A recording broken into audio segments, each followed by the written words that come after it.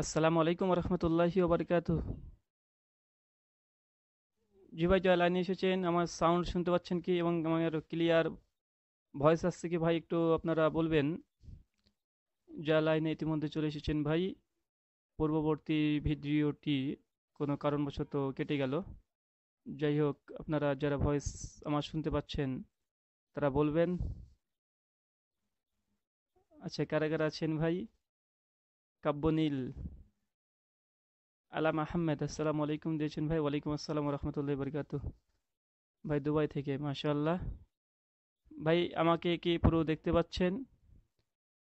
আমার ভয়েস শুনতে পাচ্ছেন ভাইরা? যারা আছেন, আমার ভয়েস শুনতে পাচ্ছেন, কেউ রেসপন্স করবেন প্লিজ যারা আছেন, ভয়েস ক্লিয়ার মাশাআল্লাহ। অনেকে ইতিমধ্যে চলে এসেছেন। মাশাআল্লাহ, অনেকে চলে এসেছেন, জি শুনতে পাচ্ছি। জি হোক ভাইয়েরা, অনেকে সাউন্ড ওকে আচ্ছা আমার পিক অর্থাৎ ছবি কি স্পষ্ট আসছে? জি, অনেকে আছেন? জি জি জি, অনেকে ইতিমধ্যে চলে এসেছেন। জি আচ্ছা যাই হোক ভাই, খুব অল্প সময়ের জন্য এসেছি। হয়তো লাইনটা কেটে যেতে পারে। এখন তো প্রাকৃতিক প্রাকৃতিক একটি দুর্যোগ আছে। অনেকজন ভাই চলে এসেছেন। জি ভাই, মাশাআল্লাহ। ইতিমধ্যে কয়েকশো জন চলে এসেছেন। আলহামদুলিল্লাহ, আলোচনা শুরু করা যাক। একশো জন শ্রোতা এখন লাইভে আছেন। আলহামদুলিল্লাহ, আস্তে আস্তে বৃদ্ধি পাবে ইনশাআল্লাহ, আল্লাহ যদি চাই। তো যাই হোক ভাই, আজকে যে বিষয়ে একটা আলোচনা করব, খুবই সংক্ষিপ্ত একটি, ছোট্ট একটি আলোচনা না। আলোচনার বিষয় হচ্ছে যে মুফতি রিজওয়ান রফিকি সাহেব আপনারা ইতিমধ্যে তার সঙ্গে, আমার সঙ্গে বেশ কয়েকটা ভিডিও লাইভ দেখেছেন। কেননা তাকে মানে এমনভাবে তার সঙ্গে একটা আলোচনা করা হয়েছিল, প্রথম একটা ফোন আলাপে। তাতে তিনি পেস্ট্রিজে পড়ে গিয়ে তিনি যাই হোক অনেক কিছুই আবল তাবল বকতে শুরু করেছে। তো বিষয়, যে বিষয়টি, যে মুফতি রিজওয়ান রফিকি সাহেব কয়েকদিন আগে তিনি ফেসবুকে লাইভ এসেছিলেন। লাইভ আসার পরে তিনি একটি পোস্ট করেছেন, একটা ভিডিও করেছেন, যেখানে তিনি বোঝাতে চাইছেন, হঠাৎই তিনি হট করে এসে বলছে যে, ব্রাদার রাহুলের সঙ্গে তো একটা বাহাস ফোন মোনাজর, সরি, বাহাসের একটা আয়োজন করা হয়েছে, একটা আলোচনা সভা। তো সেখানে তিনি আমাকে বলছেন যে ব্রাদার রাহুল হোসেনের যেহেতু বাংলাদেশে অনেক ফলোয়ার আছে, অনেক ভক্তবিন্দু আছে আর আহলে হাদিস, তো ভক্ত থাকবে স্বাভাবিক। তো তিনি যেই প্রস্তাবটি হঠাৎই দিয়েছেন, সে প্রস্তাবটি হচ্ছে এটা যে, এপ্রিল মাসের আট তারিখে বাংলাদেশের যে তাদের মসজিদ আছে, তাদের জামে মসজিদ, মসজিদের নামটা এই মুহূর্তে মনে পড়ছেন না। বাইতুল মুকাররাম সম্ভবত বলেছিল। বাইতুল মুকাররাম মসজিদে তিনি বলছেন যে তিনি তার প্রতিনিধি পাঠাবে এবং আমি যেন আমার প্রতিনিধি সে বাইতুল মোকারমে আট তারিখে পাঠিয়ে দিই। ওখানে জোহর সালাদ পড়বে এমনই কিছু একটা বলেছিল। যাই হোক, তো বিষয় ভাই আপনাদেরকে প্রথমত বলি যে আমি ইন্ডিয়ান, এটা আপনারা সকলে জানেন প্রথমত। দ্বিতীয় নম্বর বিষয় মধ্যে রিজিয়ান রফিকি সাহেব হঠাৎই একটি সিদ্ধান্ত নিচ্ছে। কেন? বিষয়টি একটু ভাববার বিষয় আছে। কেন দেখুন যে মুফতি রিজিয়ান রফিকি সাহেবের সঙ্গে আমার ফেসবুকে মেসেঞ্জারে কথা হয়। এখানে একটি আমি যে কথাটা বলতে চাই, যে মুফতি রিজান রফিকি সাহেবকে ইতিপূর্বে আমি ভিডিওর মাধ্যমে, লাইভের মাধ্যমে, লিখিতর মাধ্যমে সার্বিকভাবে তাকে আমি এটা বলেছি যে, ভাই, যতক্ষণ না পর্যন্ত বাংলাদেশে আমি আসছি, ততক্ষণ পর্যন্ত কোনো বিষয় আলোচনা করা সম্ভব নয়। কেননা দেখা যাচ্ছে কোনো কারণবশত এই মুহূর্তে যদি, কারণবশত যদি বাংলাদেশে পৌঁছাতে না পারলাম হচ্ছে কোনো একটা তারিখ দিলাম, সেখানে পৌঁছাতে না পারলাম, তো মুকাল্লিদ যারা আছে তারা তো মিথ্যাচার করা তাদের অভ্যাস। যে তারা বলবে যে ব্রাদার রাহুল পালিয়ে গেছে। জি না ব্রাদার রাহুল পালানোর কোনো ব্যক্তি নয়, যাকে ধরি তাকে ছাড়িও না। আর মুকাল্লিদ যারা আছে, তারা তো এটা তো আপনার ইতিপূর্বে অনেকে দেখেছেন। তো কোনো হিংসা, রাগ, বিদ্বেষ নিয়ে কথাবার্তা নয়। এটা শুধুমাত্র ইসলাম সংশোধনের জন্য যে মুফতি রিজন রফিকি হঠাৎই তিনি লাইভে এসে বলে দিলেন যে আট তারিখে যেন সে আমি যেন আমার প্রতিনিধিকে পাঠিয়ে দিই বাংলাদেশে। আরে ভাই, আমার বাংলাদেশের প্রতিনিধিকে। আমার বাংলাদেশের প্রতিনিধি যে নাম্বারটা আমি ফেসবুকে শেয়ার করেছি, উনি আমার বক্তৃতাকে পছন্দ করেন একটি দিনী ভাই হিসাবে। সে মানে তার বাড়িতে আমি থাকি। সে কোনো বড় মাপের কোনো আলেমও না বা তিনি যে একদম মানে অনেক বড় কিছু এমন কিছু নয়। আর আপনারা এটা সকলেই জানেন যে তিনি বলছেন সারায়াতে যারা লেখার জন্য ওই মসজিদে পাঠাতে বাইতুল মোকাররামাই তিনিও একজন পাঠাবেন আমি পাঠাবে। আরে ভাই, কোথা থেকে কি শিখেছেন? মোনাজারা জীবনে করেছেন? বিষয়টি হচ্ছে যে মুনাজারা সারায়াত লেখা হবে আর আমি থাকব না, আমার সঙ্গে মুনাজারা হবে আর আমি সারায়াতে লেখার সময় থাকব না। কে আমার প্রতিনিধি যাবে সে মুনাজারা সারাত লিখবে? এটা তাজ্জব বিষয়। আমি তো এখন পর্যন্ত এমন কোনো মুনাজারা দেখিনি যে মুনাজির উপস্থিত থাকবে না, শুধুমাত্র তার প্রতিনিধি গিয়েই ই করবে। অবশ্যই মুনাজির উপস্থিত থাকবে। প্রধান মুনাজির না হলে দ্বিতীয় কোনো মুনাজির, সে গিয়ে উপস্থিত থাকবে। তো প্রতিনিধিকে দিয়ে কাজ হয় নাকি? কেমন কথা উল্টাপাল্টা? আমার তো মনে হচ্ছে ডালমেকুশ কালাহে তিনি হঠাৎ এই সিদ্ধান্ত নিলেন কেন? তিনি তো আমাকে ফেসবুকের মাধ্যমে মেসেঞ্জারের মাধ্যমে বলতে পারতেন যে বেরাদা রাহুল ভাই আমি তো এরকম একটা সিদ্ধান্ত নিয়েছি যে, আট তারিখে আমরা যেন প্রতিনিধি পাঠাই। পরামর্শ করার পরে তিনি আমাকে পাঠাতে পারতেন বা ভিডিওটি বানাতে পারতেন। হঠাৎই তিনি পাঠিয়ে দিলেন। প্রথম পয়েন্ট দ্বিতীয় নম্বর পয়েন্ট যখন ভিডিওটা আমি শ্রবণ করলাম আমি খুব ব্যস্ততার পরেও আমি তাকে ফোন দিয়েছিলাম সরাসরি। ইন্ডিয়া সিম থেকে আমি ফোন দিয়েছিলাম। প্রথম ফোন কিছুক্ষণ কথা হওয়ার পরে কেটে গেল। তেমন কিছু কথা হয়নি। দ্বিতীয় একবার ফোন দিলাম। ফোন দেওয়ার পরে হ্যাঁ তার সঙ্গে সাক্ষাৎ, পরিচয়, সালাম, কেমন আছেন, ভালো আছেন? প্রাথমিক সম্বোধন, সমস্ত কিছু করা হলো। তারপরে মুক্তি রিজন রফিক হিসেবে কলকাতা আসার বিষয়টি জানতে চাইলাম। তিনি এখন কোথায় আছেন সেটা জানতে চাইলাম।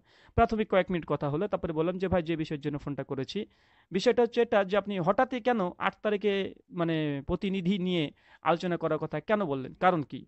উনি সঙ্গে সঙ্গে আমাকে যে বিষয়টি বললেন, যে বিষয়টি হচ্ছে এই জন্য যে ওখানে আমাদের প্রথমত আলোচনা হবে। তো আমি তাকে প্রশ্ন করলাম যে, ভাই, যে আপনি হঠাৎই সিদ্ধান্ত নিলেন কেন? তিনি তখন আমাকে বলছেন, এমন একটা তাজ্জব কথা বলে বলছে, এটা তো আপনার কাছ থেকে শিখেছি। ব্রাদার রাহুল মানে আমার কাছ থেকে তিনি শিখেছেন যে, হঠাৎই কোনো সিদ্ধান্ত নেওয়া কেন? কেননা আমি নাকি কোনো এক আলোচনাতে বলেছি যে, আমি আর রিজন রফিকি সাহেব দুজন বসবো দুজন বসবো। এই কথার ভিত্তিতে তিনি বলছেন, আপনি হঠাৎই নিজে একটা সিদ্ধান্ত নিয়েছেন। তাই আপনার কাছ থেকে শিখেছি। তাই বলছে রিজন রফিকি সাহেব। তো ভাই রিজন রফিকি ভাই, আপনাকে বলছি, আপনি আমার কাছ থেকে শিখেছেন, সেটা অ্যাপ্লাই করছেন। আপনি কি আমার মুকাল্লিদ? আপনি যদি আমার মুকাল্লিদ হন, তো আলহামদুলিল্লাহ আপনি আমার মুকাল্লিদ। তার জন্য আমার কাছ থেকে কোনো জিনিস শিখেছেন, শেখার পরে আপনি সেটাকে অ্যাপ্লাইও করছেন, তার মানে আপনি তো মুকাল্লিদ আমার। আপনি আমার মুকাল্লিদ? বাহ! এরকম যদি মুকাল্লিদ, আমার তো পছন্দ নয়, এই ধরনের মুকাল্লিদ। তো যাই হোক, তারপরে আপনি মানে আমার মুকাল্লিদ সাজার জন্য তিনি আমার কাছ থেকে শিখেই আবার আপনি আমাকে দিয়েছেন। দ্বিতীয় নম্বর বিষয় যে তিনি বলেছেন, আমরা দুজনে বসবো। এই কথা নাকি আমি মিথ্যাচার করেছি। কোশ্চিন কালেও এমন কথা বলিনি যে আমরা দুজনেই বসবো। আমরা বলেছি বা আমি যেটা বলেছি যে আমি এবং রিজন রফিক সাহেব, রিজন রফিক সাহেব এত স্বাদ, তার স্বাদ মেটানোর জন্য বাংলাদেশ অবশ্যই আসব, আমরা দুজন বসবো। আমরা দুজন বসবো তার মানে এই নয় যে আমরা শুধুমাত্র দুজনে বসবো। অনেক মোনাজারা দেখবেন, অনেক আলোচনা দেখবেন, বা একটা উদাহরণস্বরূপ বলা যায় যে ভারতবর্ষের সরকারের সঙ্গে, অর্থাৎ যদি বলি, নরেন্দ্র মোদীর সঙ্গে বাংলাদেশের সরকার যুদ্ধ ঘোষণা করেছে। তার মানে মানে যুদ্ধ করবে, তার মানে এটা নয় যে শুধুমাত্র নরেন্দ্র মোদী সরকার আর হাসিনা দুজন সরকার মারামারি করবে, এমন কিছু নয়। তার সঙ্গপঙ্গ তাদের সৈন্য ফোর্স তারা থাকবে। তো এখানে বলার উদ্দেশ্য হচ্ছে এটা, যেহেতু রিজন রফিকি সাহেব আমাকে চ্যালেঞ্জ করেছে এবং তিনি বলেছেন যে ব্রাদার রাহুলের সঙ্গে কেউ না বসলে আমি বসবো রিজন রফিকি বলছি, আমি তাকে প্রত্যেকটা ঘণ্টা, সেকেন্ড, মিনিটে, রন্ধে রন্ধে যে হালাতে বসতে চাইছে, সে হালাতে বসবে এই কথা বলেছে। তো ভাই, রিজন রফিক হিসেবে আমাকে চ্যালেঞ্জ করছে প্রথম পয়েন্ট দ্বিতীয় নম্বর পয়েন্ট তিনি হচ্ছে, যে হালাতে আমি বসতে চাইব সেই হালাতে বসবে। কি বিষয় নিয়ে বসতে চাই সেই বিষয় নিয়ে তিনি বসবেন। এতগুলো কথা বলেছেন। তো আমার এখানে বিষয় যে রিজন রফিক সাহেব তিনি চ্যালেঞ্জ করেছেন আর তিনি প্রথমে শর্ত আরোপ করে দিলেন যে আট তারিখে না যদি বেড়াদা রাহুল লোক পাঠায়, তাহলে আমরা বুঝব যে বেড়াদা রাহুল বাহাস থেকে পেছনে সরছে। কি তাজ্জব ব্যাপার, উদুরপিন্ডি বুদুর ঘাড়ে। এরকম কেন রো ভাই? ইঁদুরের কপালে সিঁদুর দিয়ে লাভ আছে কি? জি না ইঁদুর কপালে সিঁদুর দিয়ে লাভ নেই। আপনাকে যেটা বলছি, যেহেতু আপনি আমাকে চ্যালেঞ্জ দিয়েছেন এটাই যে যে হালাতে আমি বসবো, সেই হালাতেই আপনি রাজি। তার মানে যে হালাত, হালাতটাকে তো আমি তৈরি করব রে ভাই। তারপরে আপনি বলেছেন শর্ত সাপেক্ষে যে অবশ্যই। আগে যে হালাত আপনাকে, কোন হালাত আমি ফেলছি সেটা দেখুন ভাই, আমি কখন আপনাকে বলছি। আর শর্ত সাপেক্ষে সারায়তে মোনাজারা লেখা হবে শর্ত সাপেক্ষে। যে হ্যাঁ আপনি কি বিষয়ে আলোচনা হবে? তারপরে কে, ওই আবলে আলোচনা বিষয়ের মধ্যে আমাদের দলিল ভিত্তিক কীরকম হতে পারে? হ্যাঁ অবশ্যই, এই তো সারায়ত তো লিখতেই হবে রে ভাই। কিন্তু হালাত শব্দের অর্থ এটা না যে সারায়াতে মোনাজার মধ্যে হালাত ঢুকবে না। আপনি আমার পরিস্থিতি যে কোনো পরিস্থিতিতে আপনি বসতে চাইছেন, আমি যখন রাজি, আপনি তখনই রাজি। মানে আপনার এই ঘণ্টা, সেকেন্ড, মিনিট কাটা কাটা করে বলে দেওয়ার উদ্দেশ্য মানে এটাই। তো ভাই, আপনি এখন মানে ওখন পিছনে ভাগার চেষ্টা করছেন কেন? হঠাৎই আপনি কারণ আপনার একটা ফেসবুক কমেন্ট আমি দেখেছি, একজন বলছে যে, ভাই ব্রাদার রাহুল হোসেনকে ছাড়বেন না। আর আপনি সঙ্গে সঙ্গে কমেন্টে ওখানে লিখেছেন যে, জি শেখ আমি কি যেন যাই হোক বলেছেন, জি হজরত যে আমি তাকে একটু অন্যভাবে ধরার চেষ্টা করছি। কীভাবে যে ধরার চেষ্টা করছেন আল্লাহু আলম, আপনি কীভাবে ধরবেন আমাকে? ভাই লিগালি ধরেন আনলিগালি কিছু লাঠি, ফালা, বাঁশ এইসব দিয়ে ধরিয়েন না ভাই। আমি প্রথমে অনেকদিন আগে বলেছেন, বুখারি দেখিয়েন, বাখারি খবর দেখিবেন না। কিতাব দেখাবেন, সমস্ত মানে কিতাব দিয়ে দলিল পত্র দিয়ে আলোচনা করবেন। তাই মানে কাতল করব মানে এরকম হত্যা করব, এরকম একটা পরিকল্পনা নিয়েন না। কেমন আমরা দেখছি। তো বিষয় যাই হোক ভাই, আপনাকে বলেছি, আপনি যেহেতু বলেছেন যে হালাতে আমি বসতে চাই সেই হালাতে। তাই আপনাকে যে হালাতে আমি বসতে হলে সেই হালাতে আপনাকে বসতে হবে। আপনি বাধ্য। কেন মুনাজারের চ্যালেঞ্জ দেন? মুনাজারের চ্যালেঞ্জ কেন দেবেন? তো হালাত শব্দ কেন বললেন? তারপরে শর্ত সাপেক্ষে জি অবশ্যই। যে হালাতে আগে বলব যে হ্যাঁ এরকম সময়তে এখন আলোচনা হবে, এখানে এই বিষয়ে আলোচনা হবে। তারপরে সে বিষয়ের পরে শর্ত লেখা হবে, শর্ত নামা সারায়ত লেখা হবে। আপনি উল্টাপাল্টা কাকে শোনাচ্ছেন ভাই? কেচ্ছা কাহিনী বলে বলে অভ্যাস আপনাদের হতে পারে। আমরা লিগালি কথা বলি, স্পষ্ট। আর আপনি বারবার একই কথা বলেন যে আহলে হাদিসটা মানে পালিয়ে যাওয়ার ইতিহাস অনেক আছে। আরে জাহেলে মুতলাক, এই জন্য মুকাল্লিদদেরকে বলি যে মুকাল্লিদের জাহেলে মুতলাক। আহলে হাদিসরা পালিয়ে যায় কই? এখন পর্যন্ত দেখলাম না। কোন আহলে হাদিস পালিয়ে গেছে। বরং আপনাকে এটাই বলতে পারি, আমাদের পশ্চিমবাংলার কথা, আমাদের ভারতের কথা, পাকিস্তানের কথা ভালো করে খোঁজ নিয়ে দেখুন বিদাতিরা কীভাবে পালিয়ে যায়। দুই নম্বর বিষয় যে হ্যাঁ আহলে হাদিসরা হানফি মুকাল্লিদ দেবন্দীদের কাছে পালিয়ে যেতে পারে। কেননা তারা মানে যখন আর পারে না তখন তো বোমাবাজি শুরু করে দেয় লাঠি পেটা শুরু করে দেয়, এর অনেক প্রমাণ আছে। আমি রিসেন্ট খবর পেলাম সুরিটোলা জামি মসজিদে বেশ কয়েকবার আগে কয়েক বছর আগে যাই হোক একবার আলোচনার জন্য হয়েছিল। তো মাত্র তিনজন তিনজন আলোচনা করবে এই মর্মে তারা কথা বলেছে, কিন্তু পরবর্তী সময় দেখা যাচ্ছে দেবন্দিরা চারটে গাড়ি প্রায় সাড়ে তিনশো চারশো লোক নিয়ে মসজিদকে ভর্তি করে দিয়েছিল ঝামেলা পাকানোর জন্য। এটা তো দেখছি। যাই হোক, আমি সুরিটোলা মসজিদের কর্তৃপক্ষ যারা আছে তাদের শর্তে শুনেছি, সনদ একদম সহি। কেন সুরিটোলা যে ভাই বলেছে, একজন পরেশগার মমিন মুত্তাকি ব্যক্তি বলেছে, কোনো ফাসেক জালেম ব্যক্তি বলেনি। দ্বিতীয় নম্বর বিষয়, আমাদের আসামে মোনাজারা এই বিষয় হয়েছিল। জি, আসামে মোনাজারাতে আহলা হাদিসের পরে বোমাবাজি করেছে, আহলা হাদিসের বইপত্র তারা আগুন দিয়ে পুড়িয়ে দিয়েছে। আবদুল্লাহ সালাফি, আনারুল হক, ফাইজি মুনাজির দুজনকে তারা মেরেছে। আর এটা স্পষ্টভাবে যারা মোনাজারা করেছিল দেবন্দী, নাসিরুদ্দিন চাঁদপুরি, তার হানাফি চাবুক বয়ে একদম মুকাদ্দমা ভূমিকাতে লিখেছে যে হ্যাঁ আহলাদেশকে তারা মেরেছে। স্বীকার করেছে এটা, যাই হোক, তাকে ধন্যবাদ যে স্বীকার করেছে, মেরেছে। তো ভাই, যাই হোক, আপনাদেরকে এই কারণে হয় ভয় পাই বা আহলাদেশরা পালিয়ে যায়, ডেট দিয়ে আসতে চায় না, হতে পারে এমনটা, তবে আমি এরকম না ভাই। আমাকে অত সোজা আপনি ভাবেন না। ইনশাআল্লাহ আপনার সঙ্গে বসবো বলেছি, বসবই। আমি বসবো বলেছি, বসবো। আবার যেহেতু আপনি ভাবেন যে হ্যাঁ আমরা দুজন এখান থেকে বুঝে নেন, তো এটা উদুর পিন্ডি বুদুর ঘরে চাপানোর নেই যাই হোক, যে কথা বলছিলাম রিজান রফিকির ফোন, অডিওটি আমি আপনাদেরকে দিয়ে দিব। এই যে ইনশাল্লাহ কয়েক ঘণ্টার মধ্যে আমার ফেসবুক থেকেই পেয়ে যাবেন। তো রিজন রফিকি সাহেবের সঙ্গে কথা যখন হলো, তো তার সঙ্গে বেশ কয়েকটা পয়েন্টে আলোচনা করলাম যে, ভাই, এই বিষয়টি আপনি আমার সঙ্গে পরামর্শ করতে পারতেন। তিনি তো বললেন যে, আমার কাছ থেকে শিখেই তিনি করেছেন। তার মানে তিনি আমার মোকাল্লিদ। তৃতীয় নম্বর বিষয়, যে রিজন রফিকি সাহেবকে আমি বললাম যে, ভাই, বিষয় হচ্ছে, আমি যখন কথাবার্তা শুরু করলাম, তিনি তখন বলছেন যে, আপনি আমাদেরকে জাহেল বলেন। আপনি আমাদেরকে জাহেল বলেন, তো জাহেল বারবার বলেন, তো আমাদেরকে জাহেল বলে আপনি কোন মাদ্রাসায় পড়েছেন? আমাকে বলছেন, কোন মাদ্রাসায় পড়েছেন? ওনাকে জাহেল বলে তার ওনার বেঁধে গেছে। তো আমি বলেছি, ভাই, মাদ্রাসায় পরিমাণে আমি বলেছি দেওয়ান দেওয়ানবাগি পীর, তিনি তিনি তো মাদ্রাসায় ফারেক। তারপরে আমি বলেছি, ওই যে তাহেরি, কি যেন তাহেরি ওর নাম যেন, তাহেরি যে গান বাজনা করে স্টেজে নাচাই কি তাহেরি যাই হোক বেটার নাম ভুলে গেলাম। কি তাহেরি? যাই হোক, আপনারা অনেকে নামটা চেনেন তাহেরি। আমি মানে বোঝানোর উদ্দেশ্য করেছিলাম এইটা যে দেওয়ানবাগি পীর অথবা এই তাহেরি, ভণ্ড তাহেরি যে মাদ্রাসা থেকে ফারেক হয়ে নাচ গান করছে, তো একে রিজন রফিক সাহেব জাহেল ফতোয়া দিবে কি দেবে না? তিনি অবশ্যই দিতে বাধ্য, আর তিনি যদি দেন, তবে আমি এটাই প্রমাণ করার চেষ্টা করেছিলাম যে তিনিও তারাও তো মাদ্রাসায় পড়েছে, তার মানে মাদ্রাসায় পড়লেই যে একদম আলিম হওয়া যায় এমনটি নয় মাদ্রাসায় পড়ার মধ্যেও অনেকটা জাহেল থাকে। তার জন্য আমি এটা বলার চেষ্টা করেছিলাম। যাই হোক সে বিষয়টি তিনি তো ভাবছেন হ্যাঁ দেওয়ানবাগে কোন মাদ্রাসায় ফারেক আমাকে দলিল দেন দলিল দেন দলিল দেন? দেওয়ানবাগি মাদ্রা, কোন মাদ্রাসায় ফারেক দলিল চাইছে? তো আমি ওনাকে বলেছেন যে, দেওয়ানবাগি যে মাদ্রাসায় পড়েনি তাই আপনি দলিল দেন। তিনিও দলিল দিতে পারেননি। আর তিনি যে পড়েছেন, এই মর্মে আমি তো সরাসরি কোনো দলিল দিতে পারিনি। জি ভাই, একজন বলছেন গিয়াসুদ্দিন তাহেরি। হ্যাঁ ওই জাহেলটা। গিয়াসুদ্দিন তাহেরির বিষয়ে উনি কি জাহেল না আলেম না মুফতি না মহাদ্দেশ কেন? তিনি তো মাদ্রাসায় পড়েছে। মুফতি রিজন সাহেবকে বলতে হবে, মাদ্রাসায় পড়লেই যদি যা আলেম হওয়া যায় আর তিনি বলছেন যে মুফতি রিজওয়ান রফিকি বা মুকাল্লিদদেরকে আমি জাহেল বলি, তো কিসের ভিত্তিতে? আরে ভাই, এটা তো আপনাদের স্বীকৃতি দ্বারাই কথা বলেছেন রে ভাই। আপনাদেরকে প্রশ্ন করলে ভাই আপনারা মাঝাব কেন মানেন, তাকলিদ কেন করেন, তখন আপনারা সরাসরি বলেন যে ভাই, আমরা কোরআন হাদিস বুঝি না, কোরআন হাদিস থেকে দলিল বের করতে পারি না, আম জনতা আমরা কোরআন কি বুঝব, হাদিস কি বুঝব, এই জন্যই তো আমাদেরকে তাকলিদ করতে হয়। মানে আপনার কোরআন বোঝেন না, হাদিস বোঝেন না, তার মানে তো জাহেল রে ভাই।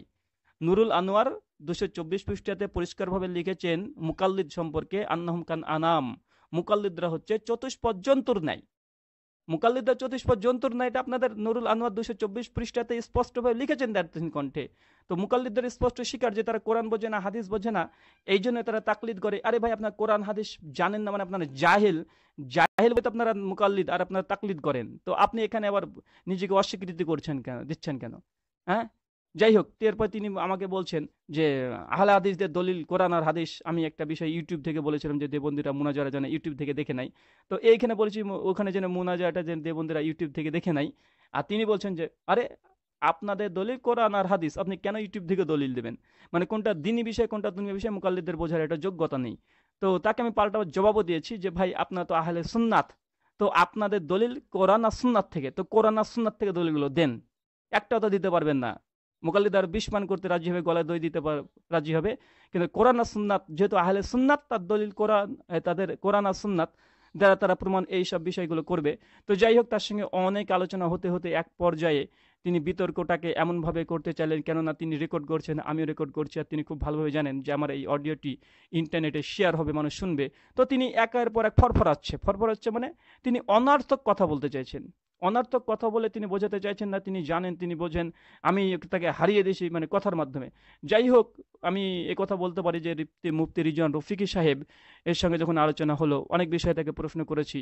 তিনি আর আমি এখানে অনেক কিছু আলোচনা করতে পারি, কিন্তু মানে পিকচার আভি বাকি হে। মানে মুনাজারা যখন হবে, আলোচনা হবে ইনশাল্লাহ সেই সময় এই বিষয়গুলো উপস্থাপন করব। তাকলিদের বিষয়ে ইনশাল্লাহ সেই সময় উপস্থিত, উপস্থাপন করব। তিনি তাকলিদ বিষয়ে কয়েকটি আমার সঙ্গে ফোনে আলোচনা করেছি, করেছে তিনি। ফোন পর্যালোচনা, এই ভিডিওটি আমার। আমি তার সঙ্গে ফোনে যে কথা বললাম, তো একটু মানে কেমন কেমন লাগল আপনাদের একটা কথা বলি, যে মুফতি রিজন সাহেবের সঙ্গে কথা হতে হতে চট করে একসময় ফোনটা কেটে গেল। আমি তখন হঠাৎ মনে করলাম যে মুফতি রিজন সাহেব ফোনটা কেটে দিল না নেটওয়ার্ক প্রবলেমের জন্য কেটে গেল। অতবার যখন কেটে গেল, আমি ভাবলাম যে হতে পারে এটা নেটওয়ার্ক সমস্যা হতে পারে। ঠিক কিছুক্ষণ পর ফোনটা লাগালাম ফোনটা লাগল না। আরেকবার লাগালাম, তারপরে ফোনটা লাগল না। তৃতীয়বার ফোন লাগালাম, জি রিং হলো পূর্ণ রিং একদম সম্পূর্ণ রিং ফোনটা উঠল না, তুললেন না তিনি। হঠাৎই, সঙ্গে সঙ্গে, দু চার মিনিটের মধ্যে আমি ফোনটা করেছি। সম্ভবত দুটো উনচল্লিশ মিনিট ইন্ডিয়ান সময়। আমি তখন ভাবলাম, এখন তো সলাতের সময় না না, জোহর না আসর। না, বাংলাদেশের সলাতের সময়, না ইন্ডিয়ার সলাতের সময়, হতে পারে সৌদি আরবের সলাতের সময় সেই সময় জোহরের সময় হতে পারে দুটো। ফোনটা যখন কেটে দিলেন, তখন আমি ভাবছি যে তিনি আমার এই ফোনটা কেটে দিলেন বিষয় কি? তো যাই হোক, তারপরে আমি আরেকবার ফোন করলাম, একটা রিং হলো গোটা, প্রথম রিংয়ে ফোন তুললেন না। দ্বিতীয়বার আবারও ফোন করলাম, গোটা রিং হলো, তারপর তিনি ফোনটা তুললেন না। তৃতীয়বার রিং করলাম, রিং হলো, ফোনটা কেটে দিলেন, বলছে আপনার নাম্বারটা এখন ব্যস্ত আছে মানে তিনি রিং হওয়ার পরে কেটে দিলেন। আমার কাছে অডিওগুলো মজুদ আছে যে রিং করেছি ফোনটা কেটে দিয়েছে, তার জন্য ফোন বলেছেন যে, আপনি যে নম্বরে ফোন করেছেন সেটা এখন ব্যস্ত আছে, রিং হওয়ার পরে। তার মানে এটার মানে যে তিনি ফোনটাকে কেটে দিয়েছেন। যাই হোক, আমি কমপক্ষে সাত থেকে আটবার ফোন করেছি দুইবার রিং বেজেছে, একবার মানে ফোনটা রিং হওয়ার পরে রানিং অবস্থাতে কেটে দিয়েছেন। আমি বললাম, মুফতি রিজন রফিকি সাহেব, কেন তিনি আমার ফোনটা কাটলেন? তো তিনি ফোনও রিসিভ করলেন না, ফোনও ধরলেন না। তার মানে এটা যদি আমি আবারও বলি যে, মুফতি রিজওয়ান সাহেব আমার সঙ্গে ফোনে কথা বলে তিনি পালিয়ে গেছেন আবার। কেন ফোনটা কেটেছেন?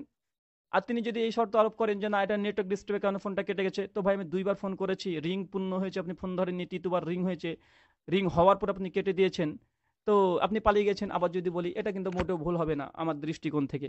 কেন আপনি ফোন মানে কে মানে পালিয়ে গেছেন, এটা তো স্পষ্টভাবে প্রমাণিত হচ্ছে।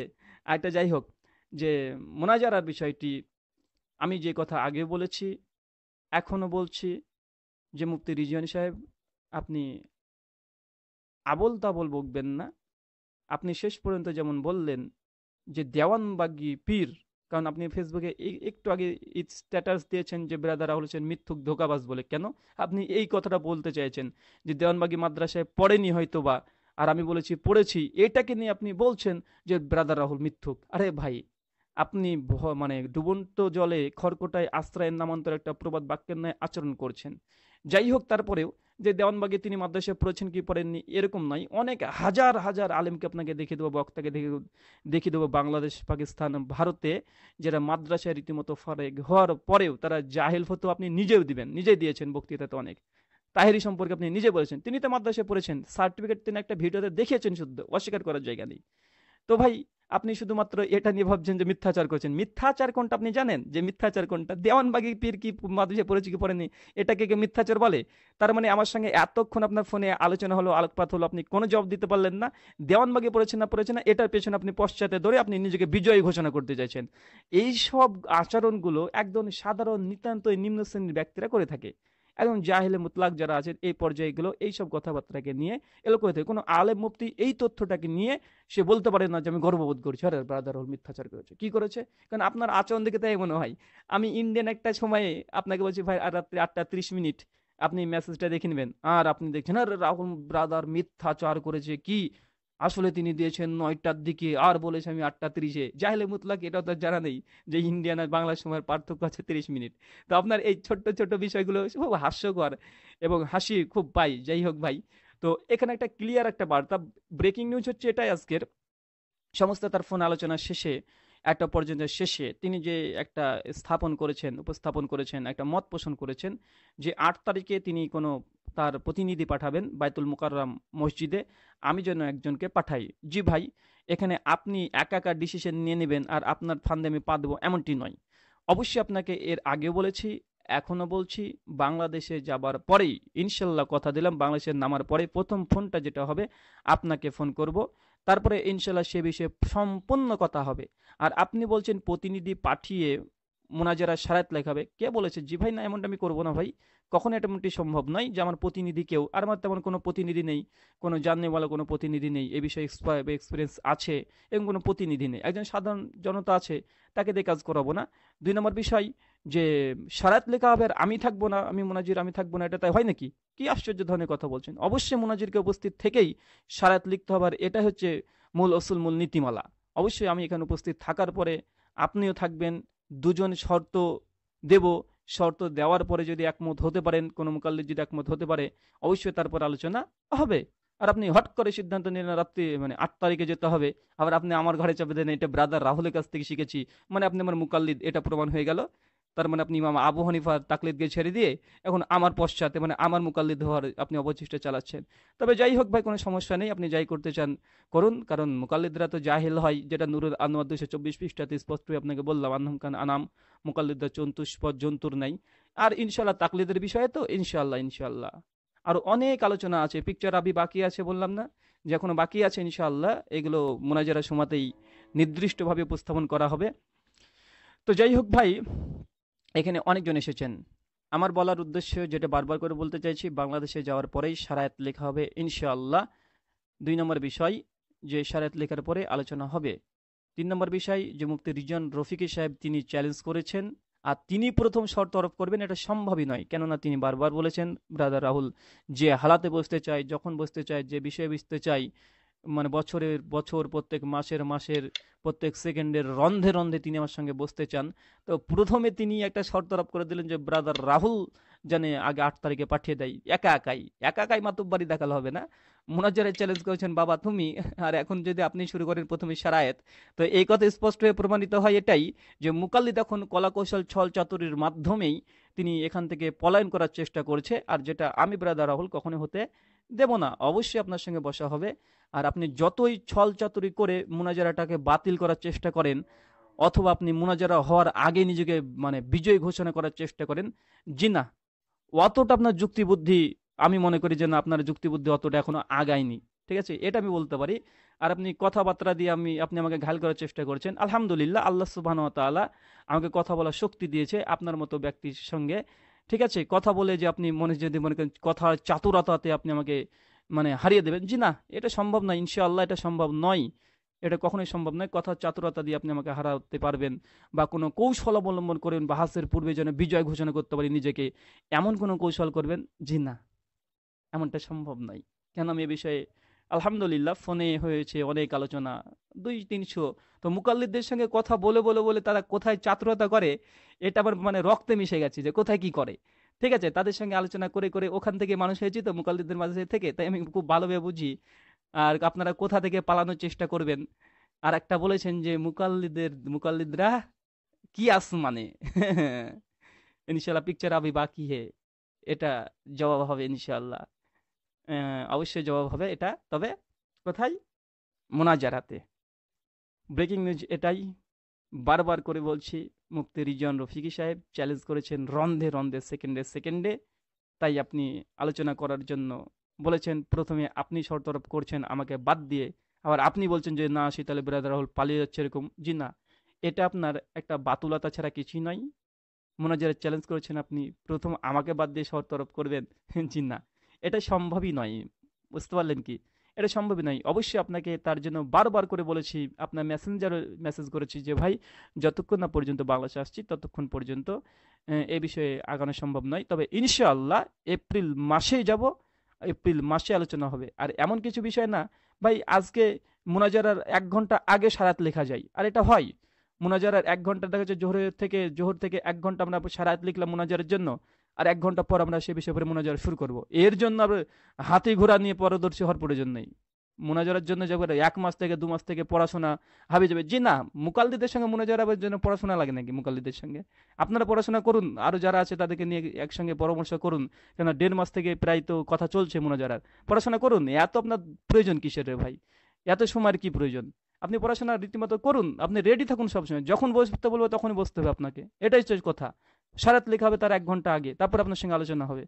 পালানোর ধান্দা করে লাভ নেই। কেন? হালাত যখন যে হালাতে বসতে চাইব সেই হালাতে বসবেন, যে বিষয়ে বসতে চাই, চাইব সেই বিষয়ে বসবেন। আপনি তো আমার পরে ছেড়ে দিয়েছেন যে আমি যেমনভাবে আপনাকে করব, তেমনভাবে আপনি বসবেন। তবে আপনি শর্ত দেন যে শর্ত সাপেক্ষে শর্ত লাগাতে লাগাবেন। যে অবশ্যই।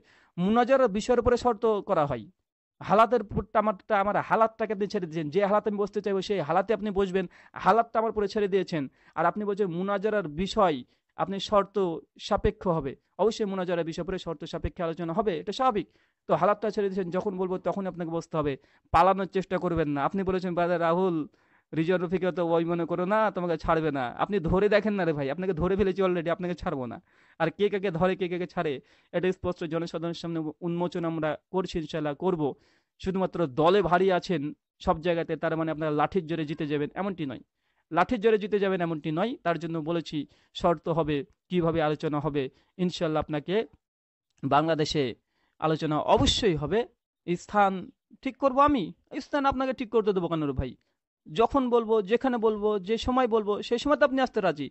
তো স্থান আমি ঠিক করব, সময় আমি নির্ধারণ করব। আপনাকে নির্ধারণ করতে কোনো মানে কোশ্চিন কাল আপনি নির্ধারণ করতে পারেন না। কেন আপনি আমাকে হালাতটা ছেড়ে দিয়েছেন। আর মোনাজারা ওসুলের শর্ত সাপেক্ষ লাগাবেন। অবশ্যই মোনাজারা ওসুলের শর্ত সাপেক্ষ আপনারও হক আছে, যে আপনি বলবেন যে এই শর্তের উপরে মোনাজারা হবে। ঠিক আছে? কিন্তু হালাতটা যেহেতু ছেড়ে দিয়েছেন, তাই আমি যখন বলব যেভাবে বলব, যে পরিস্থিতি বলব, যখন বলব যে হালাতে বলব, যে সেকেন্ডে বলব সেকেন্ডে রন্ধে রন্ধে আপনাকে বুঝতে হবে, এটা আপনার কথা, আপনার ঘোষণা। তাই কিছু মনে করবেন না? দাদা, আপনি চালিয়ে যান। আপনাকে আল্লাহ সুমান তালা হেদায়ত করুক। এ বিষয়ে আর কথা বেশি বাড়াবো না। অনেকজন এখানে আলহামদুলিল্লাহ লাইভে চলে এসেছেন অনেকজন। যাই হোক রিজন রফিক সাহেবের ভিডিওটি দেখলাম মাত্র দেড় হাজার কি দুই হাজার, আড়াই হাজার মানুষ দেখেছে, তিন দিন ধরে ভিডিওটি আছে। এখানে ইতিমধ্যে অনেকজন দেখে ফেলেছে, আলহামদুলিল্লাহ। মানুষ হক বোঝার চেষ্টা করছে, হক জানার চেষ্টা করছে, হক প্রচার করার চেষ্টা করছে, হক মানার চেষ্টা করছে। আর ব্রেকিং সমস্ত কিছু ইনশাল্লাহ বাংলাদেশে এসে তার এত শখ ইনশাল্লাহ পূরণ করা হবে। আমিও চাইছি যে এই সব মুকাল্লিদদের সঙ্গে আলোচনা হোক। কারণ বাংলাদেশে কিছু মুকাল্লিদ আছে, তারা ভাবছে যে একবারে মানে আদার বনে শিয়ালবাগ এমন কিছু একটা ভাবছে, নিজেদেরকে বিশাল পণ্ডিত ভাবছে। বিশাল পণ্ডিত ভাবছে, তো পণ্ডিতটি যখন ভাবছে, ভাবুক সমস্যা নেই। মানে এই একটা কথা আছে না যে প্রবাদ বাক্য ঠাক প্রবাদ বাক্যটা বলব না। পরবর্তী সময় আপনার সামনে উপস্থাপন করব। কেননা এখানে যদি সবই বলে দিই, তাহলে আর মোনাজারার দিনে আর কি আপনারা শুনবেন? তো কোনো সমস্যা নেই, ইনশাল্লাহ আমি চাইছি মোনাজারাটা হোক, আল্লাহ যেন মোনাজারাটা কবুল করেন। হক, বাতিল, সত্য আর মিথ্যা কোনটা স্পষ্ট প্রমাণিত হবে? যুগে যুগে আদিবদ্ধ কাল থেকে হক এবং বাতিলের সঙ্গে মোকাবেলা করে হকের সঙ্গে কেউ আজ পর্যন্ত টিকে থাকতে পারেনি। আর এটাই স্বাভাবিক, তাইফে মানসুরা সবসময় হকের উপরে প্রতিষ্ঠিত থাকবেই। সাই মুসলিম এক হাজার নয়শো উনপঞ্চাশ। আর তাইফে মানসুরাকে ইমাম বুখারি তো বলে দিয়েছে, হুম, আহলুল হাদিস। আর এই আহলে হাদিস শুধুমাত্র আমরা মুকাল্লিদরা বলে যে এই আহলে হাদিস হচ্ছে শুধু ইমাম বুখারি, মুসলিম আবুদার তিরমিজি হাদিসে মুহাদ্দিসগণ। এটা জব দিন ইনশাল্লাহ আলহামদুলিল্লাহ, ইন্টারনেটে দিয়ে দিয়েছি, লক্ষাধিক মানুষের কাছে পৌঁছে গেছে, জেনে নিয়েছে। তারপরেও, জি ভাই, ভিডিও লম্বা করলাম না, আপনাদের সামনে থেকে এখন বিদায় নিতে হবে ইনশাআল্লাহ। অন্য এক সময় আরও বিস্তারিত আলোচনা নিয়ে আসব। তবে মুফতি রিজন সাহেব, তিনি যে একটা এত বড় মাপের আলেম, তিনি আল্লামা লাগান, তার অনেক পোস্টার দেখেছি, তিনি আল্লামা লাগান। তিনি মৌলানা মুফতি, ঠিক আছে, অনেক কিছু লাগান, বক্তৃতা দেন। তো এতগুলো টাইটেল লাগিয়ে তিনি যে আচরণগুলো করেন, এগুলো একদম জাহেলের মতো, একদম জাহেলের মতো করছেন। কেন তিনি কয়েকটা জিনিস নিয়ে তিনি ওটাকে নিয়ে একবারে হাইলাইট করে বলতে চাইছে, না, জিতে গেছে আমি। কোনটা? তো দেওয়ানবাগি কোন মাদ্রাসায় পড়েছে এটা আমি বলেছি। তো এটা নিয়ে বলছে হ্যাঁ এটা কোথায় পড়েছে, এটা কোথায় পড়েছে? মানে এটা নিয়ে তিনি ভাবছেন তিনি বিজয় লাভ করে ফেলেছেন। এটা কি বিজয়ের কথা? হ্যাঁ? মানে যখন আর কিছু পারল না, তো দেওয়ানবাগিকে দিয়ে তিনি বাঁচতে চাইছেন। তার জন্য বলেছি যে ভরা জলে, ডুবন্ত জলে খড়কুটাই আস্তায় নামান্তর মানুষ যখন ডুবন্ত জলের মধ্যে সাঁতরে কুল দিতে পারে না, কোনো যখন একটা খড়কোটা থাকে, সেটাকে ধরে বাঁচার চেষ্টা করে, তো মুকাল্লে দুজন হিসেবে এখন এটা হয়েছে। দেওয়ান বাগিকে ধরে তিনি এখন মানে বাঁচার চেষ্টা করেছেন। যেমন কিছু আগে চরমনে পিস সাহেব আর কুয়ে কাটা গরুকে দেখে তিনি মাঝাব পেয়ে গেছেন। আহা আহা গরুর চারটে বাট একটা হানাফি সাফি মালিকের হাম্বেলি। তার জন্য এই চারটে বাট, এই দুধ দিচ্ছে, বাচ্চা দিচ্ছে। তো ভাই একটা কথা বলি, চারটে বাট যদি হানাফি সাফি মালিকি আর হাম্বিলি হয়, তো আমরা এই কথা বলতে হানাফি সাফি মালিকি, হাম্বিলি চারটি মাঝাব, ঠিক আছে। আর ওই যে গরুর পেছনে যেটা থাকে, যেটা দিয়ে পেশাব ফিরে অথবা গোবর দেয়, দুটো দেয়, দুটো রাস্তা আছে। তো ওই দুটো রাস্তা হচ্ছে একটা হানাবি মঞ্জ দুটো ভাগ, একটা দেবন্দের, একটা বেরোবি এমন যদি বলি না পাক জিনিস, তো ভাই কথাটা কি খারাপ হবে? তাদের যদি যুক্তি হয় এটা এটা আমার যুক্তি সমস্যা কথায় যুক্তি যুক্তি, তিনি যুক্তি দিয়েছেন, আমিও যুক্তি দেবো এটা স্বাভাবিক, তাই কিনা যদি চারটে বার যদি হানাফি সাফি মালিক, হাম্বলি হয়, তো গরু তো আরও দুটো জায়গা বাকি আছে। দুটো জায়গা থেকে বেরোয় যেমন বাট থেকে যেমন দুধ বেরোয় তো পেছন থেকে একটাতে গোবর বেরোয় আর একটা বেরোয় কি? পেশাব বেরো হয়। তো দুটো যদি হয়, তো আরও দুটো তো আছে, দেবন্দে আর বেরোলবি। তো মনে হয় দেবন্দে আর বেরোলবি হবে। এটা যুক্তির আলোকে এই কথা স্পষ্ট হয়। তো যাই হোক, ভাই, আপনাদের সামনে থেকে এখন বিদায় নেব ইনশাআল্লাহ। এখানে যারা আছেন, তারা ভিডিওটি শেয়ার করবেন ইনশাআল্লাহ। শেয়ার করে সত্য মানুষের সামনে উপস্থাপন করে দেন। হক আর বাতিল কোনটা মানুষ স্পষ্টভাবে বুঝতে পারছে। এর জন্য তো অনেক ভাইরা আহলুল হাদিস হয়ে যাচ্ছে। এটা আলহামদুলিল্লাহ আল্লাহ সালান্ত পক্ষ থেকে বিশেষ নিয়ামত। আচ্ছা ভাই, আমি চলে যেতে চাইছি। আপনারা একটু আমাকে একটু বলবেন যে এখানে অনেকজন আছেন। জি ভাই, চলে যাচ্ছি। আপনাদের সামনে থেকে বিদায় নিচ্ছি। ইনশাল্লাহ দোয়া করবেন। সময়, অনেকখানি সময় নিলাম আপনাদের, সময় নষ্ট করলাম। আল্লাহ সুবাহ আপনাকে যে যায় খায়ের দান করুক আপনাদের সকলকেই। হ্যাঁ অনেক মুকাল্লিদ আছে। মুকাল্লিদা তো গালি দেয়। মালুর বাচ্চা তাই বলছে আমাকে। আল্লাহ হেদাহেত করুক, মালুর বাচ্চা। ঠিক আছে, সমস্যা নেই। বলুন না। আপনি বলবেন, আমি নাকি পাবো। অনেকজন, ভাই, সাদ্দাম হোসেন।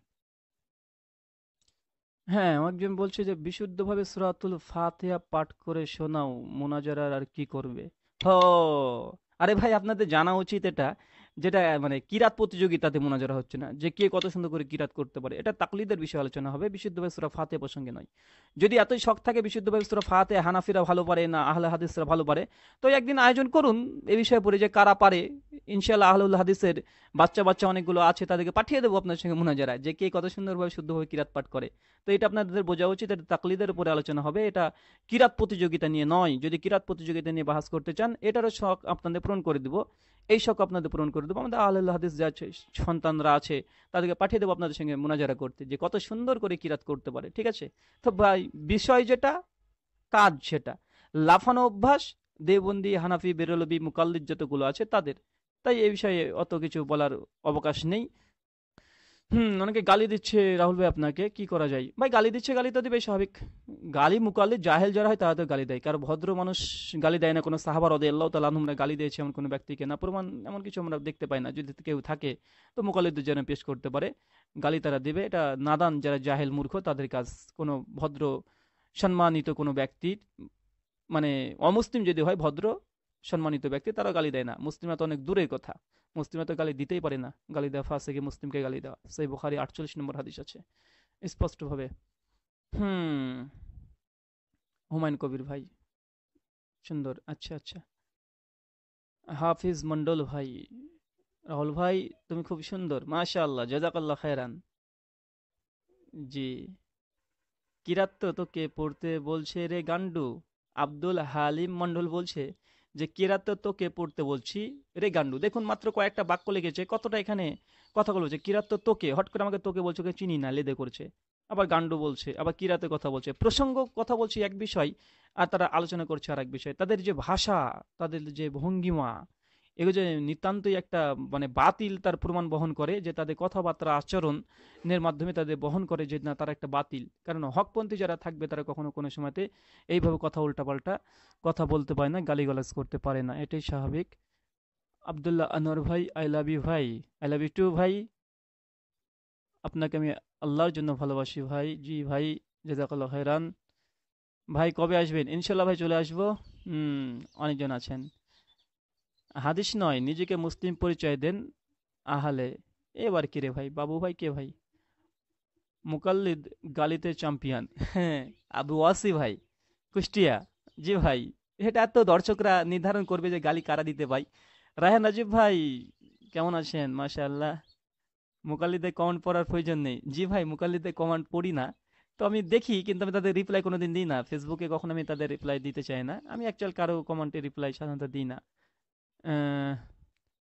জি ভাই, অনেকজন আছেন লাইভে যাই হোক সময় আপনাদের সঙ্গে দিচ্ছি, এমনি ভালো লাগছে আর কি, একটু সময়টাও আছে, অনেকদিন পর বাড়িতে আজকে ফ্রি আছি। অনেক প্রোগ্রাম ধারাবাহিকভাবে করা হলো, সেই অক্টোবর মাস থেকে প্রোগ্রাম লাগাতার লেগেই আছে।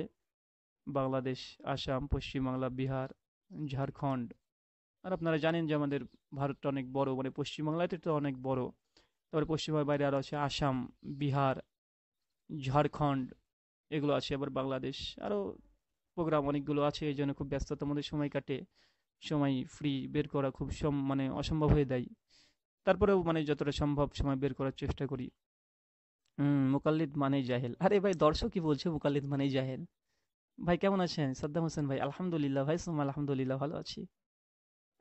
মাসুদ, রবিন ভাই, গতকাল মসজিদে তাবলিকওয়ালার সবাই ধরেছিল আমাকে। তাবলিকওয়ালারা ধরেছিল, আরে ভাই তাবলিকওয়ালারা যারা থাকে, তারা তো আমজনতা আপনি আমজনতা সমস্যা নেই।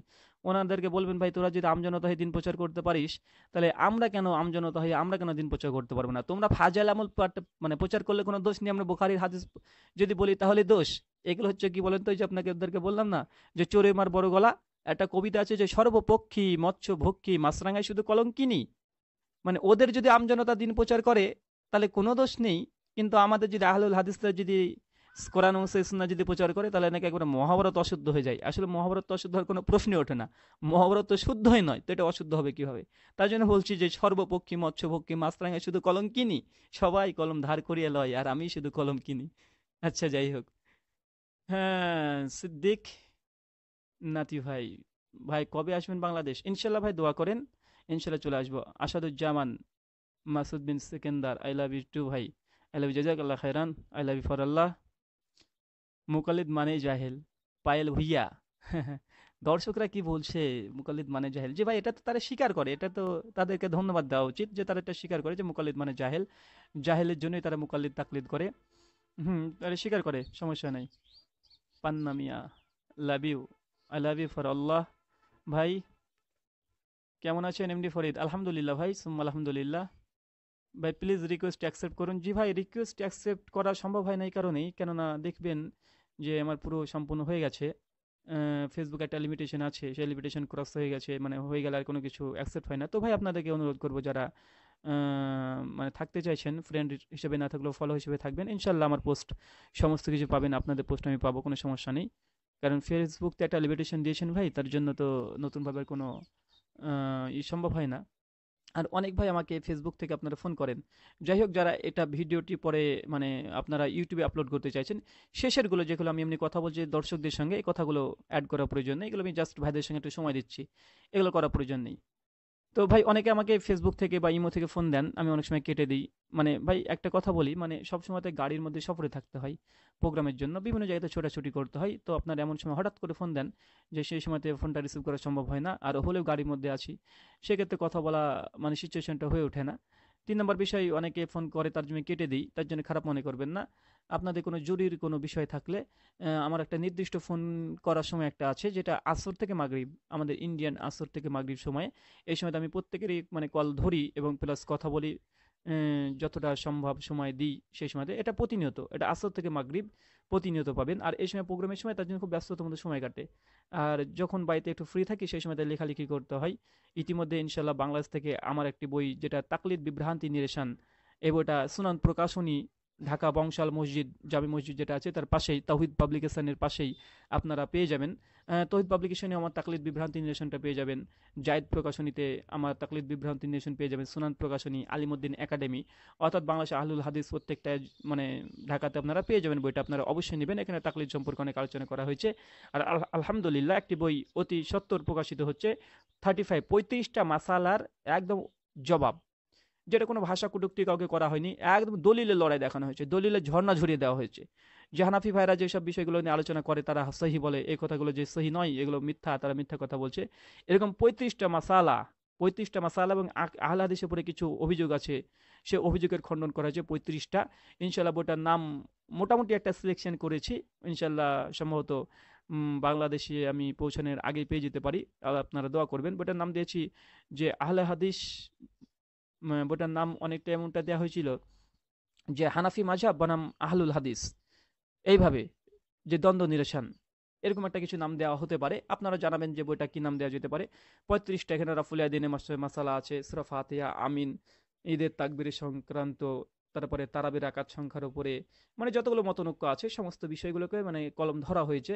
আর খুব অল্পতেই দলিল ভিত্তিক আলোচনা করা হয়েছে। শুধুমাত্র হানফিদের মূল যে দলিলগুলো, সেগুলোকে খণ্ডন করা হয়েছে।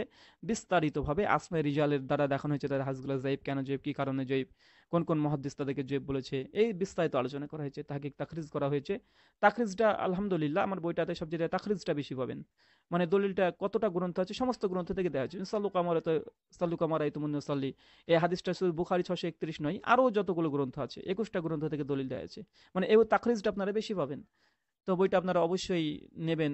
ইনশাল্লাহ ওখান থেকে যদি কোনো সাধারণ আম মানে সাধারণ যদি কোনো নিরপেক্ষ দৃষ্টিভঙ্গির কোনো হানাফি ভাই থাকে, অবশ্যই বইটা পড়ে তারা বুঝতে পারে কোনটা হক, কোনটা বাতিল। স্পষ্টভাবে বিস্তারিত তাহাকিক, তাখরিজ সহ করা হয়েছে। প্লাস এখানে একটা জিনিস উপস্থাপন করেছি যে বইটা লেখার সময় বাংলাদেশের দলিল সহ নামাজের মাসাইল এবং আমাদের পশ্চিম বাংলার হানাফি কেল্লা এই দুটো বইকে সামনে রেখে জবাব দেওয়ার চেষ্টা করেছি খুবই সংক্ষিপ্তভাবে। খুবই মানে সংক্ষিপ্তভাবে যাতে বাংলাদেশের মানুষের উপকার হয়, ইন্ডিয়ার লেখকের উপকার হয়। যেমন তাকলিদ বিভ্রান্তি নেশন বইটা মূলত পশ্চিমবাংলার নাসিরুদ্দিন চাঁদপুরীর ইমাম মানব কেন বই জবটা লিখেছি। তো সঙ্গে সঙ্গে যেহেতু বাংলাদেশে অনেক শ্রোতা আছে, বাংলাদেশ থেকে বইটা প্রকাশ করা হচ্ছে, তার জন্য বাংলাদেশেও ওই মাজাব তাকলিদ কি কেন, এই বইটাকে সামনে রেখেই একসঙ্গে দুটো বই জব দেওয়া হয়েছে। কেননা বাংলাদেশ এবং আমাদের পশ্চিমবাংলার মানুষ যেন মানে উপকৃত হতে পারে আমার বইটাতে। পাশাপাশি যারা আসামে আছে, আসামের বই মাঝাব পরিচিতি মুফতি আব্দুল খালেকের, তার বইটাকে সামনে রেখে জবাব দেওয়া হয়েছে। একটা বই যেন তিনটে জবাব একত্রিত পাওয়া যায় এই জন্যই তো ইনশাল্লাহ ধারাবাহিকভাবে বই বেরোবে। আর পঁয়ত্রিশটা মাসালা যে বইটা খুব চমৎকার বই ইনশাল্লাহ সারা পাবে। ইনশাল্লাহ আমি দোয়া আল্লাহ কাছে মানে এই প্রার্থনা করছি। ইনশাল্লাহ বইটা কোনো দ্বন্দ্ব নিরসন জাস্ট কাউকে কটুক্তিমূলক কোনো কথাবার্তা কিছু বলা হয়নি। আর দলিলগুলো উপস্থাপন করা হয়েছে একটু ভিন্নভাবে, নতুন কোয়ালিটিভাবে একটু মানে আনার চেষ্টা করেছি। অন্যান্য বইয়ের থেকে ইনশাল্লাহ একটা ভিন্নতা রেখেছি বইটার মধ্যে। অন্যান্য ওখান থেকে মানে প্রত্যেকটা অধ্যায় আলোচনা করা শেষে একটা অধ্যায় মানে একটা ছোট্ট করে একটা ফুটনোট মানে একটা দেওয়া আছে যে ওলেমাদের জন্য লক্ষণীয় বিষয়। মানে এইটা প্যারাটা যে ওলেমা যারা আছে, আলেম ওলেমা আছে, তাদের জন্য লক্ষণীয় বিষয়। এখান থেকে তাদের অনেক কিছু বুঝ- বুঝতে পারে। এই বিষয়টি উপস্থাপন করা হয়েছে। তো আপনারা যাই হোক, অনেক জন এখানে আলোচনা শুনলেন। বইয়ের নাম দলিলের জোরে আমল। মাশা আল্লাহ মা আকাশ ভাই বলছে পঁয়ত্রিশটা মাসালা বইটার নাম দেওয়া হচ্ছে দলিলের জোরে আমল। রাইহান রাজীব ভাই সন ছেলে বলছে জিদান চাচু আই লাভ ইউ জিদান মাশা আল্লাহ আই লাভ ইউ ফর আল্লাহ জিদান। রীতিনীতি লাইভ রেকর্ডিংটা টাইম লাইনে রাখবেন ভাই। প্রথম দিকের লাইভ দেখতে পারিনি। ও আচ্ছা আচ্ছা আচ্ছা। ঠিক ঠিক। ঠিক আছে ইনশাল্লাহ আমি এখানে রেখে দেওয়ার চেষ্টা করব। আসসালামু আলাইকুম রহমতুল্লাহ বরকাত সুপ্রিয় দর্শক এবং ফেসবুক বন্ধুরা সবাই কেমন আছেন? আল্লাহ পাকের খাস মেহরবানিতে আমিও ভালো আছি, আলহামদুলিল্লাহ। তো সবাই একটু অবশ্য আমাকে জানাবেন যে মানে আমার ভয়েস এবং ভিডিওটা ক্লিয়ার আছে কিনা। একটু দ্রুত জানালে উপকার হয়। মাসাল্লাহ অনেক ভাই চলে আসছেন, আলহামদুলিল্লাহ। কাজী হাবিব ভাই আসছেন চাঁদপুর থেকে। কাজী হাবিব একটু আমাকে জানান যে ভয়েসটা ঠিক আছে কিনা। সাউন্ড ভলিউম কি ঠিক আছে সবই? যাক, আলহামদুলিল্লাহ, অনেক ভাই আসছেন এবং বলছেন যে ঠিকই আছে, আলহামদুলিল্লাহ। এই মুহূর্তে ভাই কেউ আমাকে লাইভে কল টল কেউ না দেই, অনেকে লাইভ কল দিচ্ছেন। দয়া করে কেউ কল টল দিয়েন না, একটু আমি জরুরি কথার মধ্যেই আছি। আমাদের ডাক্তার সাহেব আসছেন শরফুদ্দিন ভাই। যাক, আলহামদুলিল্লাহ। আল্লাহর মেহরবানি ভাই, আমি একটি বিষয় নিয়ে আপনাদের সামনে আজকে উপস্থিত হয়েছিলাম সামনে। তো আসলে আগের বিষয়টার জন্য অত্যন্ত দুঃখিত। আমি একটি বিষয়ে, জরুরি একটি বিষয় নিয়ে আলোচনা করার জন্য অবশ্য উপস্থিত হয়েছি। আমি লাইভে সাধারণত মানে আড্ডা দেওয়া বা কোনো কথাবার্তা এমনি কোনো কারণে আসি না। কোনো জরুরি বিষয় ছাড়া আসি না। তো দয়া করে যারা আসছেন বা যারা আমার লাইভটা বা দেখছেন বা, আপনারা দয়া করে সবাই একটু আমার লাইভটা শেয়ার করে দিবেন। যেহেতু একটি জরুরি বিষয় নিয়ে আপনাদের সামনে উপস্থিত হওয়া। সরি আমার নেট কানেকশন ছিল না এতক্ষণ। তো যা হোক, আসলে আপনাদের সামনে একটি বিষয় নিয়ে কথা বলার জন্য আসছি। সেটা হলো, আপনারা অনেকদিন আগেই শুনেছেন আমাদের ইন্ডিয়া থেকে আমার ব্রাদার রাহুল, আহলাদিসের ব্রাদার রাহুল আমাকে ফোন করেছিল এবং আমার ভয়েস রেকর্ডটা নিয়ে সে মানে যা হোক, সে বিষয়গুলো আপনারা সবাই কম বেশি জানেন। তো সম্প্রতি আমাদের এপ্রিল মাসে বৈঠকের কথা ছিল যে ব্রাদার রাহুল বাংলাদেশে আসবেন এবং তিনি মাঝহাব সম্পর্কে আলোচনায় বসবেন। তো সে বিষয় নিয়েই আলোচনা হবে ইনশাল্লাহ যেহেতু এখন এপ্রিল মাস চলছে। তো এর মধ্যেই আমি, এর ভেতরে অনেক কিছু হয়ে গেল, আপনারা যেটা দেখেছেন। ব্রাদার রাহুল প্রথমে আমার সাথে একজন তিনি বসবেন এবং আমি বসবো। দুইজনে বসার একটা সিদ্ধান্ত প্রাথমিকভাবে হওয়ার পরও ব্রাদার রাহুল তিনি আবার ঘোষণা দিলেন, তিনি দুইজনে বসবেন এবং তিনি ডাইরেক্ট অস্বীকার করে বসেছিলেন যে তিনি নাকি একা বসার কথা বলেননি। এবং পরবর্তী সময়ে আমি সেটা ডকুমেন্ট সহ, সমস্ত প্রমাণ সহ আমি আপনাদের সামনে উপস্থাপন উত্থাপন করেছিলাম। যে সে কতটুকু মিথ্যাচার করেছিল আমার ব্যাপারে এবং দুইজন বৈঠকের ব্যাপারে। যাই হোক সে বিষয়গুলো মুখ্য নয়। আজকের আমার লাইভের মধ্যে মূল বিষয়টা হচ্ছে যেহেতু তিনি শুনলাম আজকে তার ফেসবুকে আমি দেখলাম যে তিনি বাংলাদেশে আসার একটা ঘোষণা দিয়েছেন যে তিনি এপ্রিল মাসে আসবেন। এবং সেখানে বাংলাদেশের একজনের নাম্বারও তিনি দিয়েছেন তার সাথে যোগাযোগের জন্য বলেছেন। তো নিঃসন্দেহে তার বাংলাদেশে অসংখ্য মানুষ আছে তার আহ, আহবাব তার ভক্তবৃন্দ থাকতে পারে অবশ্যই আছে।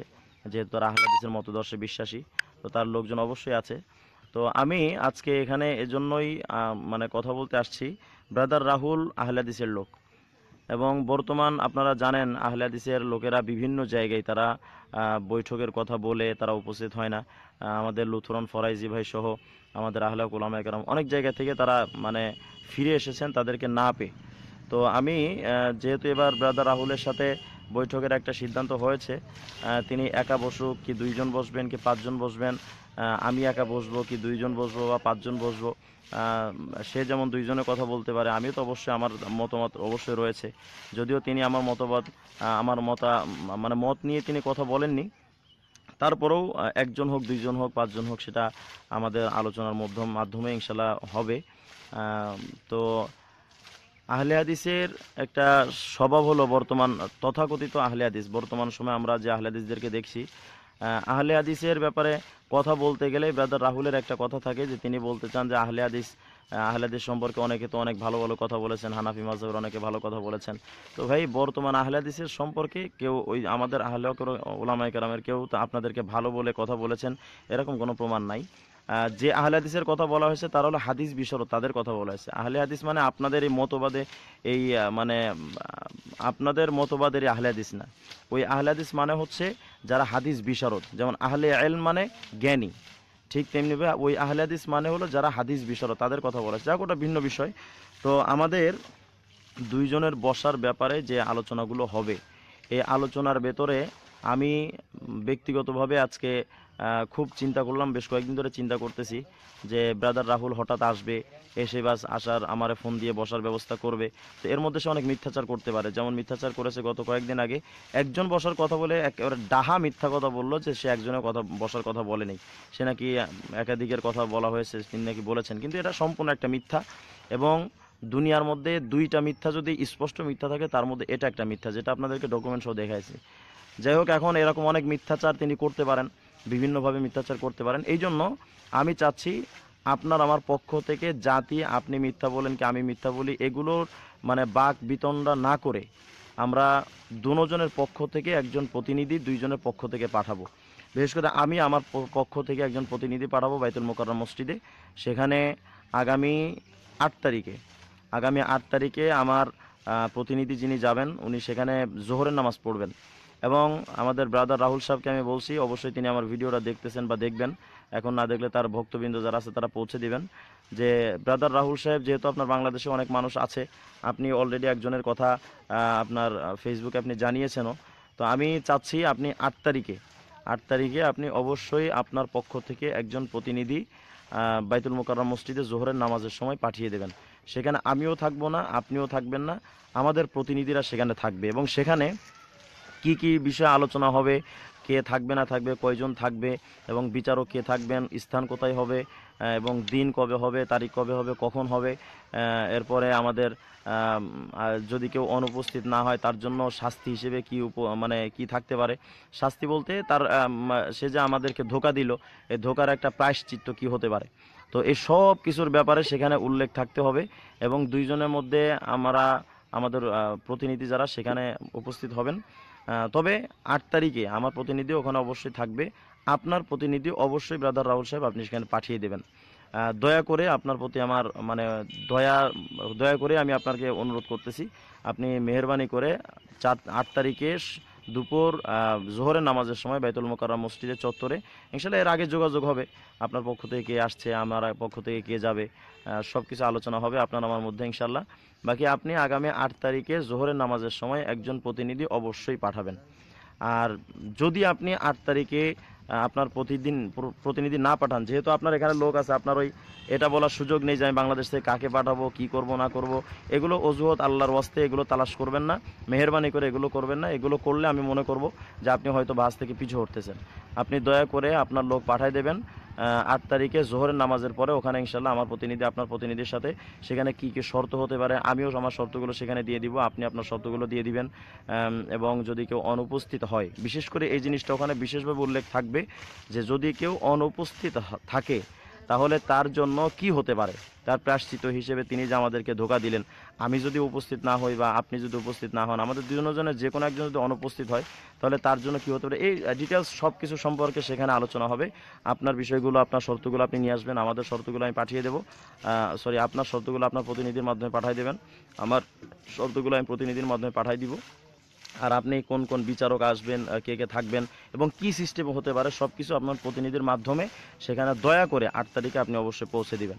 এটা হলো আমার আপনার কাছে বিশেষ অনুরোধ। যদি আপনি আট তারিখে প্রতিনিধি না পাঠান, তাহলে আমরা অগ্রিমভাবে মেনে নিব বা ধরে নিব যে আপনি বাহাসের আগে আপনি পিছনে হটেছেন। আল্লাহ সুবাহানা হুয়া তালা যেন আপনাকে অন্তত এই বিষয়টা মানার তৌফিক দান করেন। আর মেহরবানি করে আমি, আপনি আট তারিখের এই বিষয়টা নিয়ে, আট তারিখের প্রতিনিধি বৈঠকের বিষয়টা নিয়ে কোনো টাল বাহানা বা কোনো কিছু করার চেষ্টা করবেন না। এটা আপনার কাছে আমার বিশেষ অনুরোধ। যেহেতু আমরা দুইজন বসবই, আপনিও বসবেন, আমিও বসবো। দুইজন যেহেতু আমরা বসার জন্য একশো পার্সেন্ট একমত। এখানে আমাদের প্রতিনিধি এখানে তো আমাদের প্রতিনিধি পাঠাইতে আর সমস্যা নাই। এই জন্য আপনি আপনার পক্ষ থেকে একজন প্রতিনিধি অবশ্যই পাঠিয়ে দেবেন, আমি আমার পক্ষ থেকে একজন প্রতিনিধি অবশ্যই পাঠিয়ে দিব। আর আমার এই ভিডিওটা অবশ্যই সবাই ব্যাপক হারে শেয়ার করবেন, যেন সবাই অন্তত বুঝতে পারে যে আমাদের মধ্যে কে পিছু হটতে চাচ্ছে বা চাচ্ছে না। এই বিষয়গুলো সবাইকে অবশ্য অবগত করা- করানো দরকার। আল্লাহ সুবাহানা হুয়া তালা যেন ব্রাদার রাহুল ভাইকেও হেদায়েতের মালা পরিয়ে দেন। আমাদের সকলের কপালে আল্লাহ পাক হেদায়েতের মালা যেন রাখেন। আল্লাহ সুবাহানা হুয়া তালা সকল ভাইকে কবুল করেন। অনেক ভাই আসছিলেন ইতিমধ্যে। আমাদের কাজী হাবিব ভাই এমডি রাশেদ ভাই আহমদ গালি ভাই, ইমরান সজল ভাই, সিরাজ খলিফা শরফুদ্দিন ভাই সেলিম খান ভাই, আমাদের আইজুল হক মাদানী সাহেবের ছেলে মাহমুদ মাদানী ভাই রুমান উল কারিম মোল্লা ভাই শাহাদাত ভাই, কাজী হাবিব ভাই শরফুদ্দিন ভাই, তানজিল ভাই, ইমাম ভাই, সাইফুল ভাই, অনেক ভাই আসছেন, আলহামদুলিল্লাহ।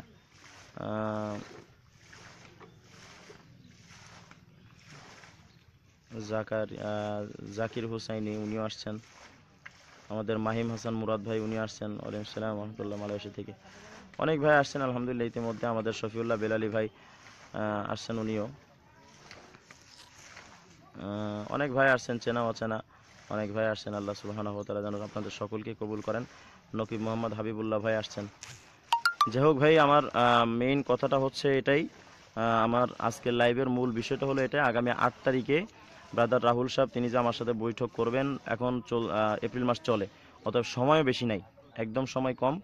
আমাদের আব্দুল বাতেন ভাই আসছেন, আমাদের সময় একদম যেহেতু কম এই জন্য আমরা দুজন একটু যদি সামনে অগ্রসর হই, আল্লাহ সুবাহানা হুয়া তালা যেন আমাদের সকলকে কবুল করেন এবং আট তারিখে ইনশাল্লাহ আমার প্রতিনিধি আছি। আমি রিজওয়ান রফিকি। আমি ব্রাদার রাহুল রাহুল আপনাকে বলছি। আমি রিজওয়ান রফিকি, বাংলাদেশে আমি একজন বক্তা, আপনি ইন্ডিয়া থাকেন। আমি আপনার চ্যালেঞ্জ গ্রহণ করলাম। আপনি যে সব জায়গায় বলে যাচ্ছেন যে আপনি বাহাজ করতে চান করতে চান মুফতি লুৎফুরন ফরাইজি ভাই তার সাথে বসতে চান। আরে মিয়া লুৎফুরন ফরাইজির সাথে আপনি কি বসবেন? লুৎফুরন লুৎফুরন ফরাইজির সাথে বসার মতো যোগ্যতা আছে আপনার? আমি লুৎফুরন ফরাইজির কাছে বসতে আপনাকে বলছি না। আমি রিজওয়ান রফিকে এটার গ্রহণ করলাম। আপনি কখন, কোথায়, কীভাবে, কোন সময়, কোন হালতে বসবেন? আমি রিজওয়ান রফিকে আপনার চ্যালেঞ্জ গ্রহণ করলাম। আপনি মাঝহাব নিয়ে প্রশ্ন করবেন, কোন বিধান নিয়ে আপনি প্রশ্ন করতে চান সেই বিষয়ের উপরে কেউ যদি না বসেন, শুধু আমি আপনার সাথে বসবো। তবে হ্যাঁ সেখানে চিটিংবাজির কোনো সুযোগ আপনাকে আমি দিব না। আপনি মনে করেন না যে আমি রিজওয়ান রফিকে আপনাকে এত সহজে ছেড়ে দিব। আপনি আমার সাথে বসবেন, কোথায় বসবেন বলেন, তবে ওই বৈঠকটা হবে সম্পূর্ণ লাইভ প্রচার হবে। ওখানে এডিটিংয়ের সুযোগ আমি রিজওয়ান রফিকে আপনাকে দিব না। সে সুযোগ আপনি পাবেন না কখনো। আপনি বলেন কোথায় বসবেন, কবে বসবেন, কি হালতে বসবেন। আমি আপনার জন্য চব্বিশটা ঘণ্টা, তিরিশ মাসের বারো মাসের তিরিশটা দিন করে তিনশো পঁয়ষট্টি দিন। এরপরে প্রত্যেকটা দিনের চব্বিশ ঘণ্টার, প্রত্যেকটা মিনিটের ষাট মিনিটের মধ্যে, প্রত্যেকটা মিনিটের ষাট সেকেন্ডের মধ্যে, প্রত্যেকটা সেকেন্ডের রন্ধ্রে রন্ধ্রে, পরতে পরতে আমি আপনার সাথে বসতে রাজি। আপনি কোথায় বসবেন? আপনি ঘোষণা দেন, আপনি বাংলাদেশে আসেন। এসে কোথায় বসবেন আপনি বলেন। আপনি প্রশাসনের মাধ্যমে একটা জায়গা তৈরি করেন, সেখানে স্টাম্প হইতে হবে, সম্পূর্ণ শর্ত সাপেক্ষ থাকতে হবে। শর্ত সাপেক্ষ নিয়ে আপনার সাথে বসবো। আপনি কোথায় কীভাবে বসবেন এটা আপনি ঘোষণা দেন। আজকে আমার লাইভ দেখার পরে ব্রাদার রাহুল, আপনি অবশ্যই, আমার বিশ্বাস, আপনি যদি মুসলমান হয়ে থাকেন এবং বুকে যদি আপনার পাটা থেকে থাকে, আপনি আজকেই ঘোষণা দিবেন যে আপনি কোথায় বসবেন, বাংলাদেশে কবে আসতেছেন, কোথায় বসবেন। আমি রিজন রফিকের চব্বিশ ঘণ্টা আপনার জন্য প্রস্তুত রইলাম। আপনার জন্য ওপেন ভাবে আমি ঘোষণা দিয়ে দিলাম। তবে যদি আপনি না বসতে রাজি হন, আজকের পর থেকে যদি আপনি আর কখনো বলেন যে আমি বসতে রাজি, তাহলে আমি বুঝব আমার সাথে যেমন মুনাফিকি করেছেন, আমার ভয়েস রেকর্ডটা আপনি কেটে যেমন নিজের কর্তৃত্ব জাহির করেছেন, আর আমি আমরা জানি তো এমনি, আপনাদের কাজটাই এমনই। আপনাদের জন্ম, আপনাদের এই দলের প্রতিষ্ঠা, আপনাদের সব কিছু চিটিংবাজি দিয়ে এটা আমাদের জানা আছে ভাই, এটা সব কিছু আমরা জানি। বাকি আমি চাচ্ছি না যে আপনার সাথে আমার ব্যক্তিগত দ্বন্দ্বটা বেড়ে যাক বরং আপনি কোথায় কিভাবে বসবেন আমি চব্বিশ ঘন্টা আপনার জন্য প্রস্তুত রইলাম فاسألوا أهل الذكر إن كنتم لا تعلمون بالبينات والزبر وأنزلنا إليك الذكر لتبين للناس ما نزل إليهم ولعلهم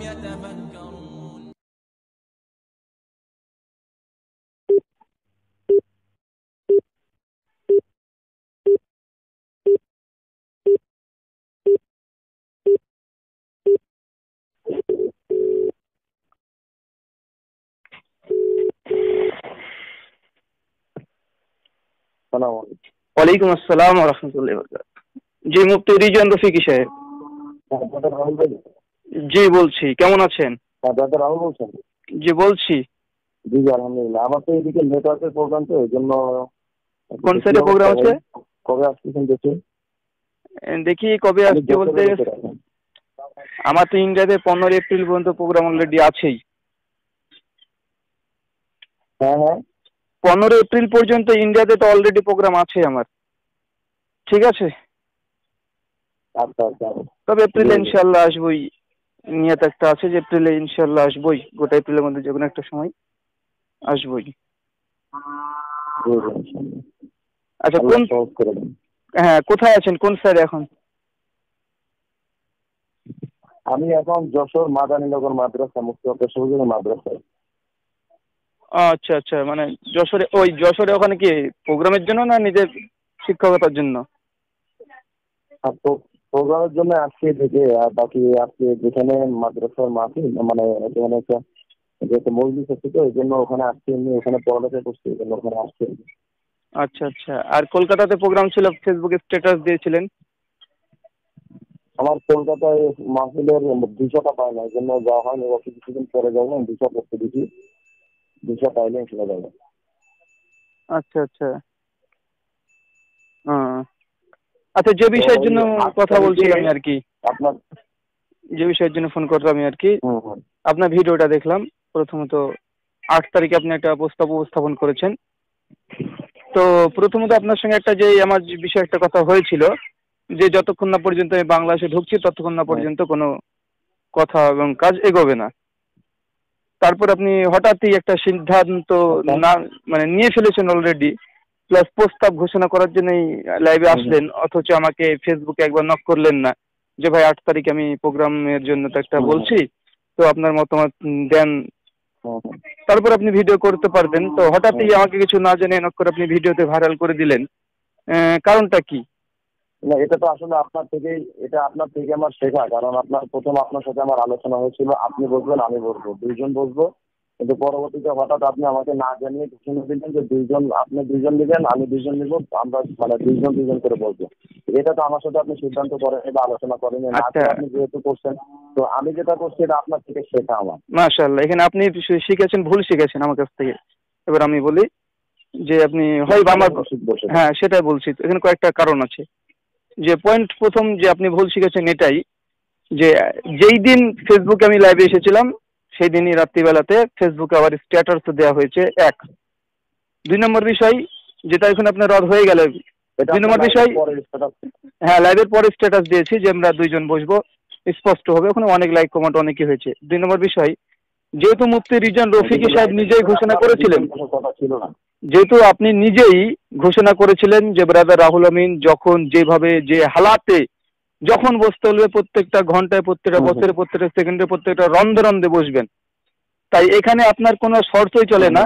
আমি যে শর্ত দেবো সেই শর্ততে আপনাকে চলতে হবে কেননা আপনি যেহেতু আমি তো আমি আমি আমি কথাও শেষ করি। যেটার মধ্যে বলেছিলাম ওখানে এটা বলা ছিল আমি আমি এখানে আপনার পয়েন্ট এখানে লাগাইতে হবে যেহেতু আমি বলছিলাম যে মানে বছরের তিনশো পঁয়ষট্টি দিনের প্রত্যেকটা দিনের প্রত্যেকটা ঘণ্টার প্রত্যেকটা মিনিটের প্রত্যেকটা সেকেন্ডে বসে রাখি। তবে শর্ত সাপেক্ষে এটা বলা ছিল। যে অবশ্যই শর্ত সাপেক্ষে। আপনি আমাকে বলতে পারবেন না। আমি এখন আমি এখন ইন্ডিয়া থাকব। আপনি হঠাৎ বাংলাদেশে এসে বলবেন যে রিজন রবি সাহেব কালকে আসেন। এটা আমার পক্ষে সম্ভব না। না না তাহলে আপনার কথার মধ্যে কথা সাংঘর্ষিক আছে। মুক্তি মুফতি রফিকি সাহেব আপনার কথার মধ্যে সাংঘর্ষিকতা আছে। কেননা আপনি ওটা বলার পরে প্রত্যেকটা হালাতে হালাতে বসতে চাই। আপনি যেহেতু মুনাজারা চ্যালেঞ্জ দিচ্ছেন তো প্রথমত আপনি শর্ত আরোপ করবেন এটা হতেই পারে না। কারণ যেহেতু চ্যালেঞ্জ আপনি করেছেন আজ পর্যন্ত কোনো? মুনাজিদ সেখানে- আজ পর্যন্ত আমি বলি ভাই আজ পর্যন্ত পৃথিবীতে শোনেন আমি আমি যদি কথার মধ্যে শর্ত সাপেক্ষ শব্দটা উচ্চারণ না করতাম তাহলে আপনি আমাকে যে কোনো সময় বলার সুযোগ না না শর্ত সাপেক্ষে আমি একটা কথা বলি শর্ত সাপেক্ষ হবে। মুনাজারা শর্ত সাপেক্ষ বলতে কি? আপনি ওখানে বুঝিয়েছেন রীতিমতো যে লেখালেখি হবে? শর্ত সাপেক্ষ বলতে সারায়তে মুনাজারার জন্য শর্ত সাপেক্ষ শব্দটা হ্যাঁ, আপনি লেখালেখির মধ্যে কোনটা লেখা। হবে? লেখালেখির ভিতরে লেখালেখি যে হবে লেখালেখির মধ্যে কি সময় স্থান এগুলো কি লেখার মধ্যে আসবে না? এটা আরে ভাই, আমি আপনাকে বলি, আমি আপনাকে আপনাকে আপনাকে শর্ত? সাপেক্ষে সারায়ত লেখা হবে এটা তো লেখা তো হবে এটা তো স্বাভাবিক। কিন্তু যেহেতু এখানে আপনি প্রথমত যে হালাতের কথা বলেছেন যে হালাত হালাত শব্দ আপনি খুব ভালোভাবে বলছেন যে হালাত শব্দ আপনি ইউজ করেছেন। যে হালাতে আমি বসতে চাইব সেই হালাতে বসবেন শর্ত সাপেক্ষে বসবেন। জি আগে হালাতটা হোক তারপরে শর্ত হোক। এবার কোন হালাতে আপনাকে ফেলছি আগে আপনি সেটা দেখুন। যে- কথা। না না না আমি আপনাকে যেতে বলি মুফতি সাহেব হয়েছে। সাহেব আপনার একটা ভুল আমি খণ্ডন করে দিই। এখানে দাদা বাংলায় দাদা আমি বলি আমি যেটা বলছি যে কোনো সময় বসতে রাজি। এর মানে কি আপনি এটাই বুঝছেন যে আপনি এই মুহূর্তে ডাক দিবেন ইন্ডিয়া এই মুহূর্তে বলব ন বরং আমার যে কোনো সময় বসার অর্থ হলো যে শর্ত সাপেক্ষে যেদিন বসার সুযোগ হয় সিদ্ধান্ত হয় সেই সময় বসার কথা। আপনার বুঝতে কেন ভুল? না এখানে আমার বুঝছে ভুল এটা আপনি আবারও নিজে ভুল করলেন। এই কথাটা বলে আবার এই কথাটা আমি যে বুঝে বুঝেছি ভুল এই কথা বলে আপনি আবার নিজে একটা ভুলের মধ্যে পতিত হলেন দ্বিতীয় ভুল। আপনি কারণ- কারণ এমন কোনো বাংলা সাহিত্য আমার জানা নেই বাংলা সাহিত্য এমন কিছু জানা নেই। যে হালাত শব্দ বলা পরে যে হালাতে যে সেকেন্ডে ঘন্টায় ঘন্টায় বসবে শর্ত সাপেক্ষের কথাটা আপনি শেষের দিকে বলেছেন ঠিক আছে? শর্ত সাপেক্ষতা কি বিষয়টা কি? জি আমি একটা কথা বলি শেষ করি ধরুন আমি আমি আমি কথা বলি কারণ আমি আপনার পয়েন্টটাকে খণ্ডন করার সম্পর্কে কোনো ধারণা নাই আপনার? আরে ভাই আপনাকে শর্ত সাপেক্ষটা দ্বিতীয় স্টেপ প্রথমে হালাত তারপরে শর্ত সাপেক্ষ। আগে হালাতটা আপনি শেষ করেন তারপরে শর্ত সাপেক্ষে যান। হালত হালতটা তো তৈরি হবে আগে লেখালেখির পরে নাকি? হ্যাঁ হালাত তৈরি হয় লেখালেখির পর না। আগে আগে কোন হালাত আপনাকে ফেলছে আপনি দেখুন রে ভাই। আপনি বলেছেন যে হালাতে যে সেকেন্ডে। আমি কথা বলছি একটু ধৈর্য ধারণ করে শোনার চেষ্টা করুন বুঝতে পারবেন। কি বলছি? না শুধু আমি তো আপনার আরে ভাই আমি কথাটা বলতে আমাকে কথাটা বলতে দেন। আমাকে কথাটা বলতে দেন। আমি কি বলছি? যেহেতু মুনাজারের চ্যালেঞ্জ দিয়েছে রিভিশন রফিকি আমি কিন্তু দিইনি প্রথম কথা। প্লাস আপনি খুব মানে কড়াভাবে সেকেন্ডের ঘণ্টার রন্ধে রন্ধে প্রত্যেকটা হালাতে আপনি বসতে চান। মানে আমি যখন ডেট সময় ঠিক করব ডেট দেবো সময় নির্ধারণ করব সেই সময়তে আপনি বসতে রাজি হবেন। কেন? হালাত বলতে এটা বোঝায় যে হালাতে। তারপরে শর্ত সাপেক্ষে মানে আপনি শর্ত সাপেক্ষ বলতে গেলে স্থান কাল পাত্র শর্ত এর মধ্যে ঢুকে না। শর্ত সাপেক্ষে বলে সারা আয়তে মুনাজারা ঢোকে। এখানে একটা কথা- এখানে একটা আমি বলে দিই শোনেন এখানে এখানে- আমি একটা কথা বলি শর্ত সাপেক্ষে বলতে সারা আয়তে মুনাজারা ঢোকে। আপনি আমার সাথে কথা বলছেন শোনেন। আমি- এ- কথা এখনও বলছেন কিন্তু আপনি আবার ঘোষণা দিলেন যে দুইজনে বলবেন এখানে কি আচ্ছা এবার আপনাকে বলি আপনার যে আপনার যে মতিভ্র মতিভ্রম আপনার যে মতিভ্রম হয়েছে মুক্তি রিজন্ড থেকে যে আমি একা বসবে কথা বলেছি এটা আপনার মতিভ্রম কোনো ভিডিওতে একটা সেকেন্ড দেখাতে পারবেন না যে আমি বলেছি মুক্তি রিজন রফিক আর আমরা দুজনেই বসবো। আমি তো সেটা দেখাইছি তো আমি আর আরে দুজনে বসবো এই কথা না না একটা দুজন বসবো। আমি একটা কথা বলি কিছুদিন আগে মু- মানুষ জানে মুফতি লুৎফর রহমান ফারাজিরা আলাদিসের সঙ্গে লুৎফর রহমান ফারাজি প্রোগ্রাম করল। যুদ্ধ যদি হয় বাংলাদেশের সঙ্গে ভারতের তো বলবেন নরেন্দ্র মোদীর সঙ্গে হাসিনার যুদ্ধ হলো। গোটা ভারতবর্ষের সৈন্য দলের নাম কোথায় বলবে না। এটা একটা জাহালাত।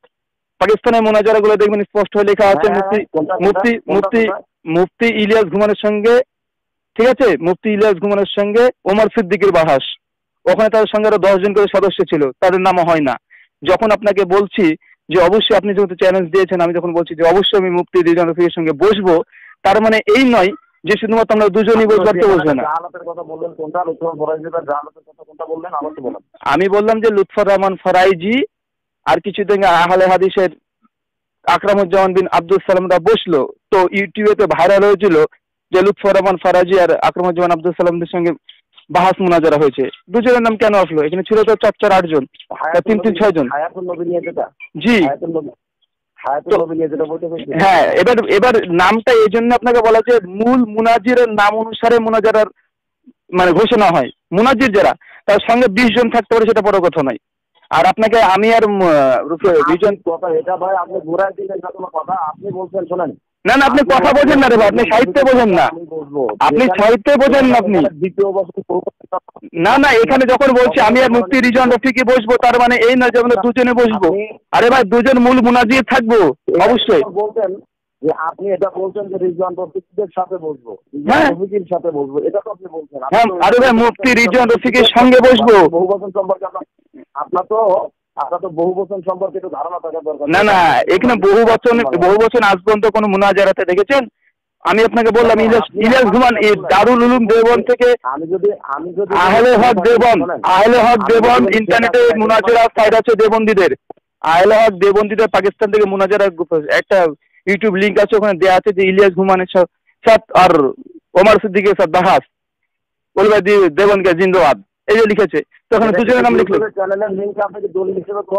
আরে অবশ্যই এটা কারণ এটা হচ্ছে দেবন্দ সাইড থেকে আরে ভাই এটা দেবন স্বয়ং দেবন্দিতে সাইড থেকে চলা আপনাকে আপনাদের আপনাদের দাবি তো হলো শোনেন আপনাদের দাবি তো হলো কোরআন শোনার বাইরে কোনো কিছু মানবেন না। এখন ইউটিউবের চ্যানেলটি দিয়ে দিচ্ছেন কেন ভাই?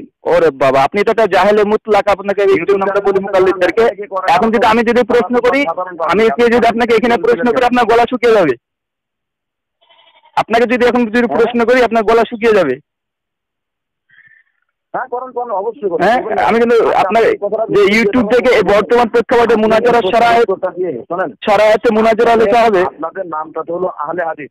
শোনেন জি। আপনাদের নাম তো হলো আহলে হাদিস। আপনারা কথা বলবেন হাদিস দিয়ে বলবেন। আপনি আপনার নাম হচ্ছে হানাফি। যে কথা বলবেন যে কথা বলবেন ইমাম আবু হানিফার কল থেকে আপনাকে দিতে হবে। আপনার নাম কিন্তু হানাফি মনে রাখবেন। আপনি কিন্তু হানাফি। জবাবটা আগে দেন না। হ্যাঁ? আগে আগে জবাবটা দেন আপনি। আরে ভাই। জবাবটা দিয়ে তারপর আমার প্রশ্ন করেন। কিসের কিসের জবাব বলেন তো ভাই? আপনার নাম আপনারা তো নিজেদেরকে আহলে হাদিস দাবি করেন তাই না? জি অবশ্যই আমরা আহলুল হাদিস। জবাব বা যে কোনো দলিল পেশ করতে গেলে যে কোনো প্রশ্ন করতে গেলে আপনাকে যে কোনো জবাব দিতে গেলে হাদিস থেকে দিতে হবে। আপনি ইউটিউব চ্যানেল থেকে দলিল দিলেন কেন? আচ্ছা মানে আপনার প্রশ্নটা যে এটা ফার্জি প্রশ্ন জাহিলি প্রশ্ন সকলে বুঝবে দুই নম্বর বিষয়। উত্তরটা শুনে নেন। আপনার হচ্ছে আহলে সুন্নাত। তার মানে এর বারে শুনুন না আপনার নাম হচ্ছে এই শুনুন কথা শুনুন জবাব জবাব দিচ্ছি মুফতি রিজন সাহেব। বললেই আপনাদের যে কোনো কিছু বললেই আরে আমি আপনাকে বললাম আপনার আপনার গলা শুকিয়ে যাবে আমার তো শুনলে? মুফতি রিজন সাহেব আপনার গলা শুকিয়ে যাবে। আমাদেরকে জাহেল বলেন। আরে ভাই প্রশ্ন করবেন থেমে যান ভাই আপনার মুফতি রিজন সাহেব আপনি প্রশ্ন করেছেন আমি উত্তর দেবো আহলে হাদিস উত্তর দেবো এখন। আপনার গলা শুকিয়ে দেবো আপনার উত্তর আমার হ্যাঁ, উত্তরে। আপনি বললেন যে আহলে হাদিস যেমন যা বলব হাদিস আর কোরআন থেকে বলব তো আপনার হচ্ছে আহলে সুন্নাত। যা বলবেন কোরআন আর সুন্নাত থেকে বলতে আপনাকে হবে ঠিক আছে? কোরআন আর সুন্নাত থেকে বলতে হবে। কারণ আপনি আহলে সুন্নাতের দাবিদার আমি আহলে হাদিসের দাবিদার তার দলিল যদি কোরআন আর হাদিস থেকে আমাকে দিতে হয় তো আপনি তাহলে সুন্নাতের দাবিদার। আরে ভাই, আপনাদের নাই। আচ্ছা সাহেব। আমাদের কিয়াস দিয়ে দলিল দেওয়ার সুযোগ আছে যে পৃথিবীতে কোনো মুকাল্লিদ কিয়াস করতে পারে? অন্য কথা বলার সুযোগ নেই কোনো। আচ্ছা আচ্ছা আপনি আপনি এতে যে হ্যাঁ। জাহেল জাহেলের পরিচয় আবার দিলেন এই জন্য নিজের মাঝহাব সম্পর্কে আপনি অবগত নন। আপনি আচ্ছা, আপনি আমার মাযহাবের জাস্টিস তাকি উসমানী মাদ্রাসায় পড়ছেন জাস্টিস কথা আপনি যে আপনি যে কথায় জাহেল শব্দটা উচ্চারণ করেন আপনি কোন মাদ্রাসায় পড়ে আলেম হয়েছেন শিক্ষিত হয়েছেন এটা একটু বলেন আচ্ছা দেওয়ানবাগি মাদ্রাসায় পড়েছে উনি কি জাহেল বলবেন কি বলবেন না? কোন মাদ্রাসায় পড়ছেন দেওয়ানবাগি দেওয়ানবাগি পীর মাদ্রাসা ফারুক হয়েছে কি হয়নি? তারপর আপনার ওই যে আপনাদের বাংলাদেশের যে? গান এখন স্টেজে স্টেজে দান দান দান দান স্টেজে স্টেজে নাচানাচি করে। কথা দান আপনাকে আমি উদাহরণ দিচ্ছি রে ভাই। আপনাকে উদাহরণ দিচ্ছি। গিয়াস গিয়াসউদ্দিন তাহেরি গিয়াসউদ্দিন তাহেরি মাদ্রাসা পড়েছে কি পড়েনি মাদ্রাসা পড়ছে রাহুল আপনি কথা বলে চালিয়ে দিবেন না। আপনি আরে ভাই মুফতি মুফতি রিজওয়ান রফিকি সাহেব গিয়াসুদ্দিন তাহেরি। তারপরে ভিন্ন কথা হবে। আরে ভাই আপনি কিন্তু লাইন কিন্তু চুক্ত করেছেন। মুকাল্লিদের স্বভাব কিন্তু এরকম যে ছুটে যাওয়া। কেননা আমি বলেছি যে আপনাকে প্রত্যেকটা প্রশ্ন কথা শুনতে হবে আমার। আপনি দেওয়ান যে কথাটা বললেন যে তিনি মাদ্রাসায় ফারুক হয়েছে কোন মাদ্রাসা থেকে আচ্ছা গিয়াসউদ্দিন তাহেরি। আচ্ছা ভাই হয়নি। আচ্ছা আমি আমি জানি আমি হয়নি আমি স্বীকার করলাম যে হয়েছে হয়নি আমার জানা নেই। তবে স্বাভাবিকভাবে হবে এটাই স্বাভাবিক। যাই হোক আপনাকে এবার বলছি গিয়াসউদ্দিন তাহেরি মাদ্রাসা থেকে ফারুক হয়েছে কি হয়নি? আরে গিয়াস দেওয়ান তাকে বলেন। আরে ভাই আমি স্বীকার করলাম যে আমার জানা নেই ভাই আমার ভুল হয়েছে। আমি তো অবাক করলাম আস্তাগফিরুল্লাহ আল্লাহর কাছে ক্ষমা চাইলাম এটা- এটা ভুল হয়েছে তো যাক আলহামদুলিল্লাহ। এটা এটা একটা যে ভুল হয়েছে এরপর আপনি নিজেকে অন্যকে কি জাহেল বলতে পারেন। আরে ভাই আমি একটা ভুল একটা দুনিয়াবি বিষয় আরে একটা ভুল আরে ভাই একটা ভুলের জন্য এখানে জাহেলের প্রমাণ হয়। যে আপনি যে এই প্রশ্নটা উপস্থান করলেন এদের আবার আপনি জাহেল প্রমাণিত হলেন। সবই রে আচ্ছা গিয়াসউদ্দিন তাহেরি এমনি মাদ্রাসা করেছেন কি পড়েননি? এরপরে তো আপনি জাহেল বলতেন মুফতি রিজন সাহেব গিয়াসউদ্দিন তাহেরি। না। এখানে আপনার- আপনার বাতাস বেরিয়ে গেছে। আপনি আগে দেওয়ান বাকিটা ক্লিয়ার না, না। যেহেতু একজন জাহেল যেহেতু আপনি বললেন আমার ভুল হয়েছে আমার না জানার কারণে। তো আপনি তো জাহেল এটা মেনে হ্যাঁ আমি আরে ভাই একটা বিষয় অজ্ঞ তার মানে এই নয় একটা বিষয় অজ্ঞ তার মানে এই নয় যে এটা মেনে নেন আচ্ছা আচ্ছা তাহলে আপনার আপনার এখানে একটু জট ছুটে দিই। কথা শুনতে হবে আপনি আগে নিজে আপনার একটু আপনি জটটা ছুটে আপনি আমার একটা কথা জবাব দেন যে আপনি বললেন কিয়াস যে কিয়াস যে দলিল। আরে ভাই এটা আপনার জবাব দেন। ওই ওই সমস্ত আগে আগে আগে এই বিষয়টা নিয়ে আপনি নিজেকে বলেন যে আমি জাহেল আমার জানা ছিল না। আমি জাহেল এটাকে নিজেকে প্রমাণ করেন। আরে ভাই, আমি বলে দিয়েছি, আরে- আমি জাহেল। আমি বলে দিয়েছি স্পষ্ট ভাবে যে দেওয়ানবাগি পীর ওই যে মাদ্রাসা পড়েনি তার দলিল উপস্থান করুন। আপনি এই বিষয়ে বলেন যে এই বিষয়ে আমি জাহেল এটা বলেন আগে। আপনি বলুন আপনি আগে দলিল দেন যে আমি যে বলেছি ধরুন আমি আবার আমি আমার কথা রুজু করব বা কথা বলছি যে হ্যাঁ দেওয়ানবাগি মাদ্রাসা পড়েছে যান হ্যাঁ দেওয়ানবাগি মাদ্রাসা পড়েছে। আপনি আগে নিজেকে বলেন। দেওয়ানবাগি মাদ্রাসা পড়েছে আপনাকে বললাম। এবার দেওয়ানবাগি যে মাদ্রাসা পড়েনি তার প্রমাণ পেশ করেন। আপনি ফারে হওয়ার কথা বলছেন। আপনি বলছেন দেওয়ানবাগি মাদ্রাসায় পড়ে ও- অন্য তোমার মাদ্রাসা থেকে ফারে হয়েছেন। ওই নাম্বার মাদ্রাসার নামটা বলেন। আচ্ছা দেওয়ানবাগি যে মাদ্রাসায় পড়েনি তার জন্য দেওয়ানবাগি যে মাদ্রাসায় পড়েনি দেওয়ানবাগি মাদ্রাসায় পড়েনি তার দলিল উপস্থান করেন। তাহলে এই ব্যাপারে তাহলে এই ব্যাপারে তাহলে এই ব্যাপারে আপনি বলেন যে ব্যাপারে আমি আরে ভাই আপনি যে এই বিষয়ে জাহেল আপনি জানেন না। দেওয়ানবাগি মাদ্রাসায় পড়েছে কি পড়েনি আপনাকে বলছি দেওয়ানবাগি যে মাদ্রাসায় পড়েনি তার দলিল উপস্থান করেন নাসির দলিল লাগে। আরে ভাই না বোধকে দলিল লাগে আপনার জানা নেই না বোধকে দলিল লাগে হ্যাঁ বোধকে দলিল লাগে না। হালালের আল্লাহ কোরআনে বলছে পৃথিবীর যা আছে সমস্ত কিছু খাও। আপনার এটা ভালো করে ভাবে জানা আছে যে না বোধকে দলিল লাগে হ্যাঁ বোধকে দলিল লাগে না। এই যে কথা ঘোরাচ্ছেন তাছাড়া আমি ছাড়বো না আপনাকে ওইভাবে। আরে ভাই আপনি ধরলেন কোথায়? ধরেছি তো আপনাকে রে ভাই। বিষয়টা ক্লিয়ার করেন। মুফতি সাহেব ও মুফতি সাহেব। আপনি আগে এই বিষয়টা ক্লিয়ার করেন। জি বলেন। এই বিষয়টাকে ক্লিয়ার করেন যে, দেওয়ানবাগি কোন মাদ্রাসায় পড়ছে কোন মাদ্রাসা থেকে ফারেক হয়েছে এটা আগে প্রমাণ দেন। যদি প্রমাণ না দিতে পারেন তাহলে এক নম্বর মৃত্যু দ্বিতীয় নম্বর জাহেল এই শব্দটা নিজের ক্ষেত্রে মেনে নেন তারপরে আমি ভিন্ন দিকে আগাবো। আচ্ছা আচ্ছা আচ্ছা আচ্ছা। মানে আপনার দম শেষ হয়ে গেছে এবার যে দেওয়ানবাগি যে মাদ্রাসা পড়েনি যেহেতু না বোধক না বোধকের দলিল। কোন মাদ্রাসায় পড়েনি দলিল দেন? মাদ্রাসায় যে পড়েনি তার প্রমাণ দেন। মাদ্রাসায় যে তিনি পড়েনি তার দলিল দেন। আপনি আগে আমি যেহেতু দেওয়ানবাগি সম্পর্কে উত্থাপন করি না তার সম্পর্কে আরে ভাই। যে পড়েনি যেহেতু আমি আমি আমি বলছি ধরেন আমি বলেছি পড়েছে আমি বলেছি মাদ্রাসায় ফারেক হয়েছে আর আপনি বলছেন না না পড়েনি তো পড়েনি তার জন্য আপনার দলিল দিতে হবে। আরে ভাই আপনার মাদ্রাসার নাম জেনে বসে আছে নাকি?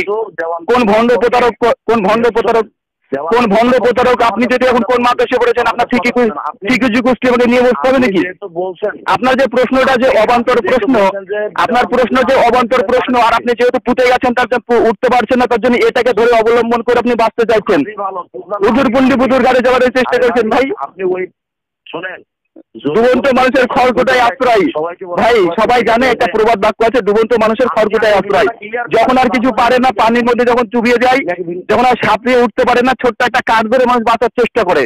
তো আপনি এখন দেওয়ানবাগে তীর এখন মাদ্রাসা পড়েছে কি পড়েনি এটা যে আপনি বাঁচার চেষ্টা করছেন এটা যে আপনি আবার জাহেলে পরিচয় দিলেন ভাই এইসব কথাগুলো একজন সাধারণ জনতা বলতে পারে কোনো আলে মুক্তি বলতে পারে না। এইসব প্রশ্নগুলোকে একজন সাধারণ জনতা বলতে পারে কোনো আলে মুক্তি বলতে পারে না। বুঝতে পারলেন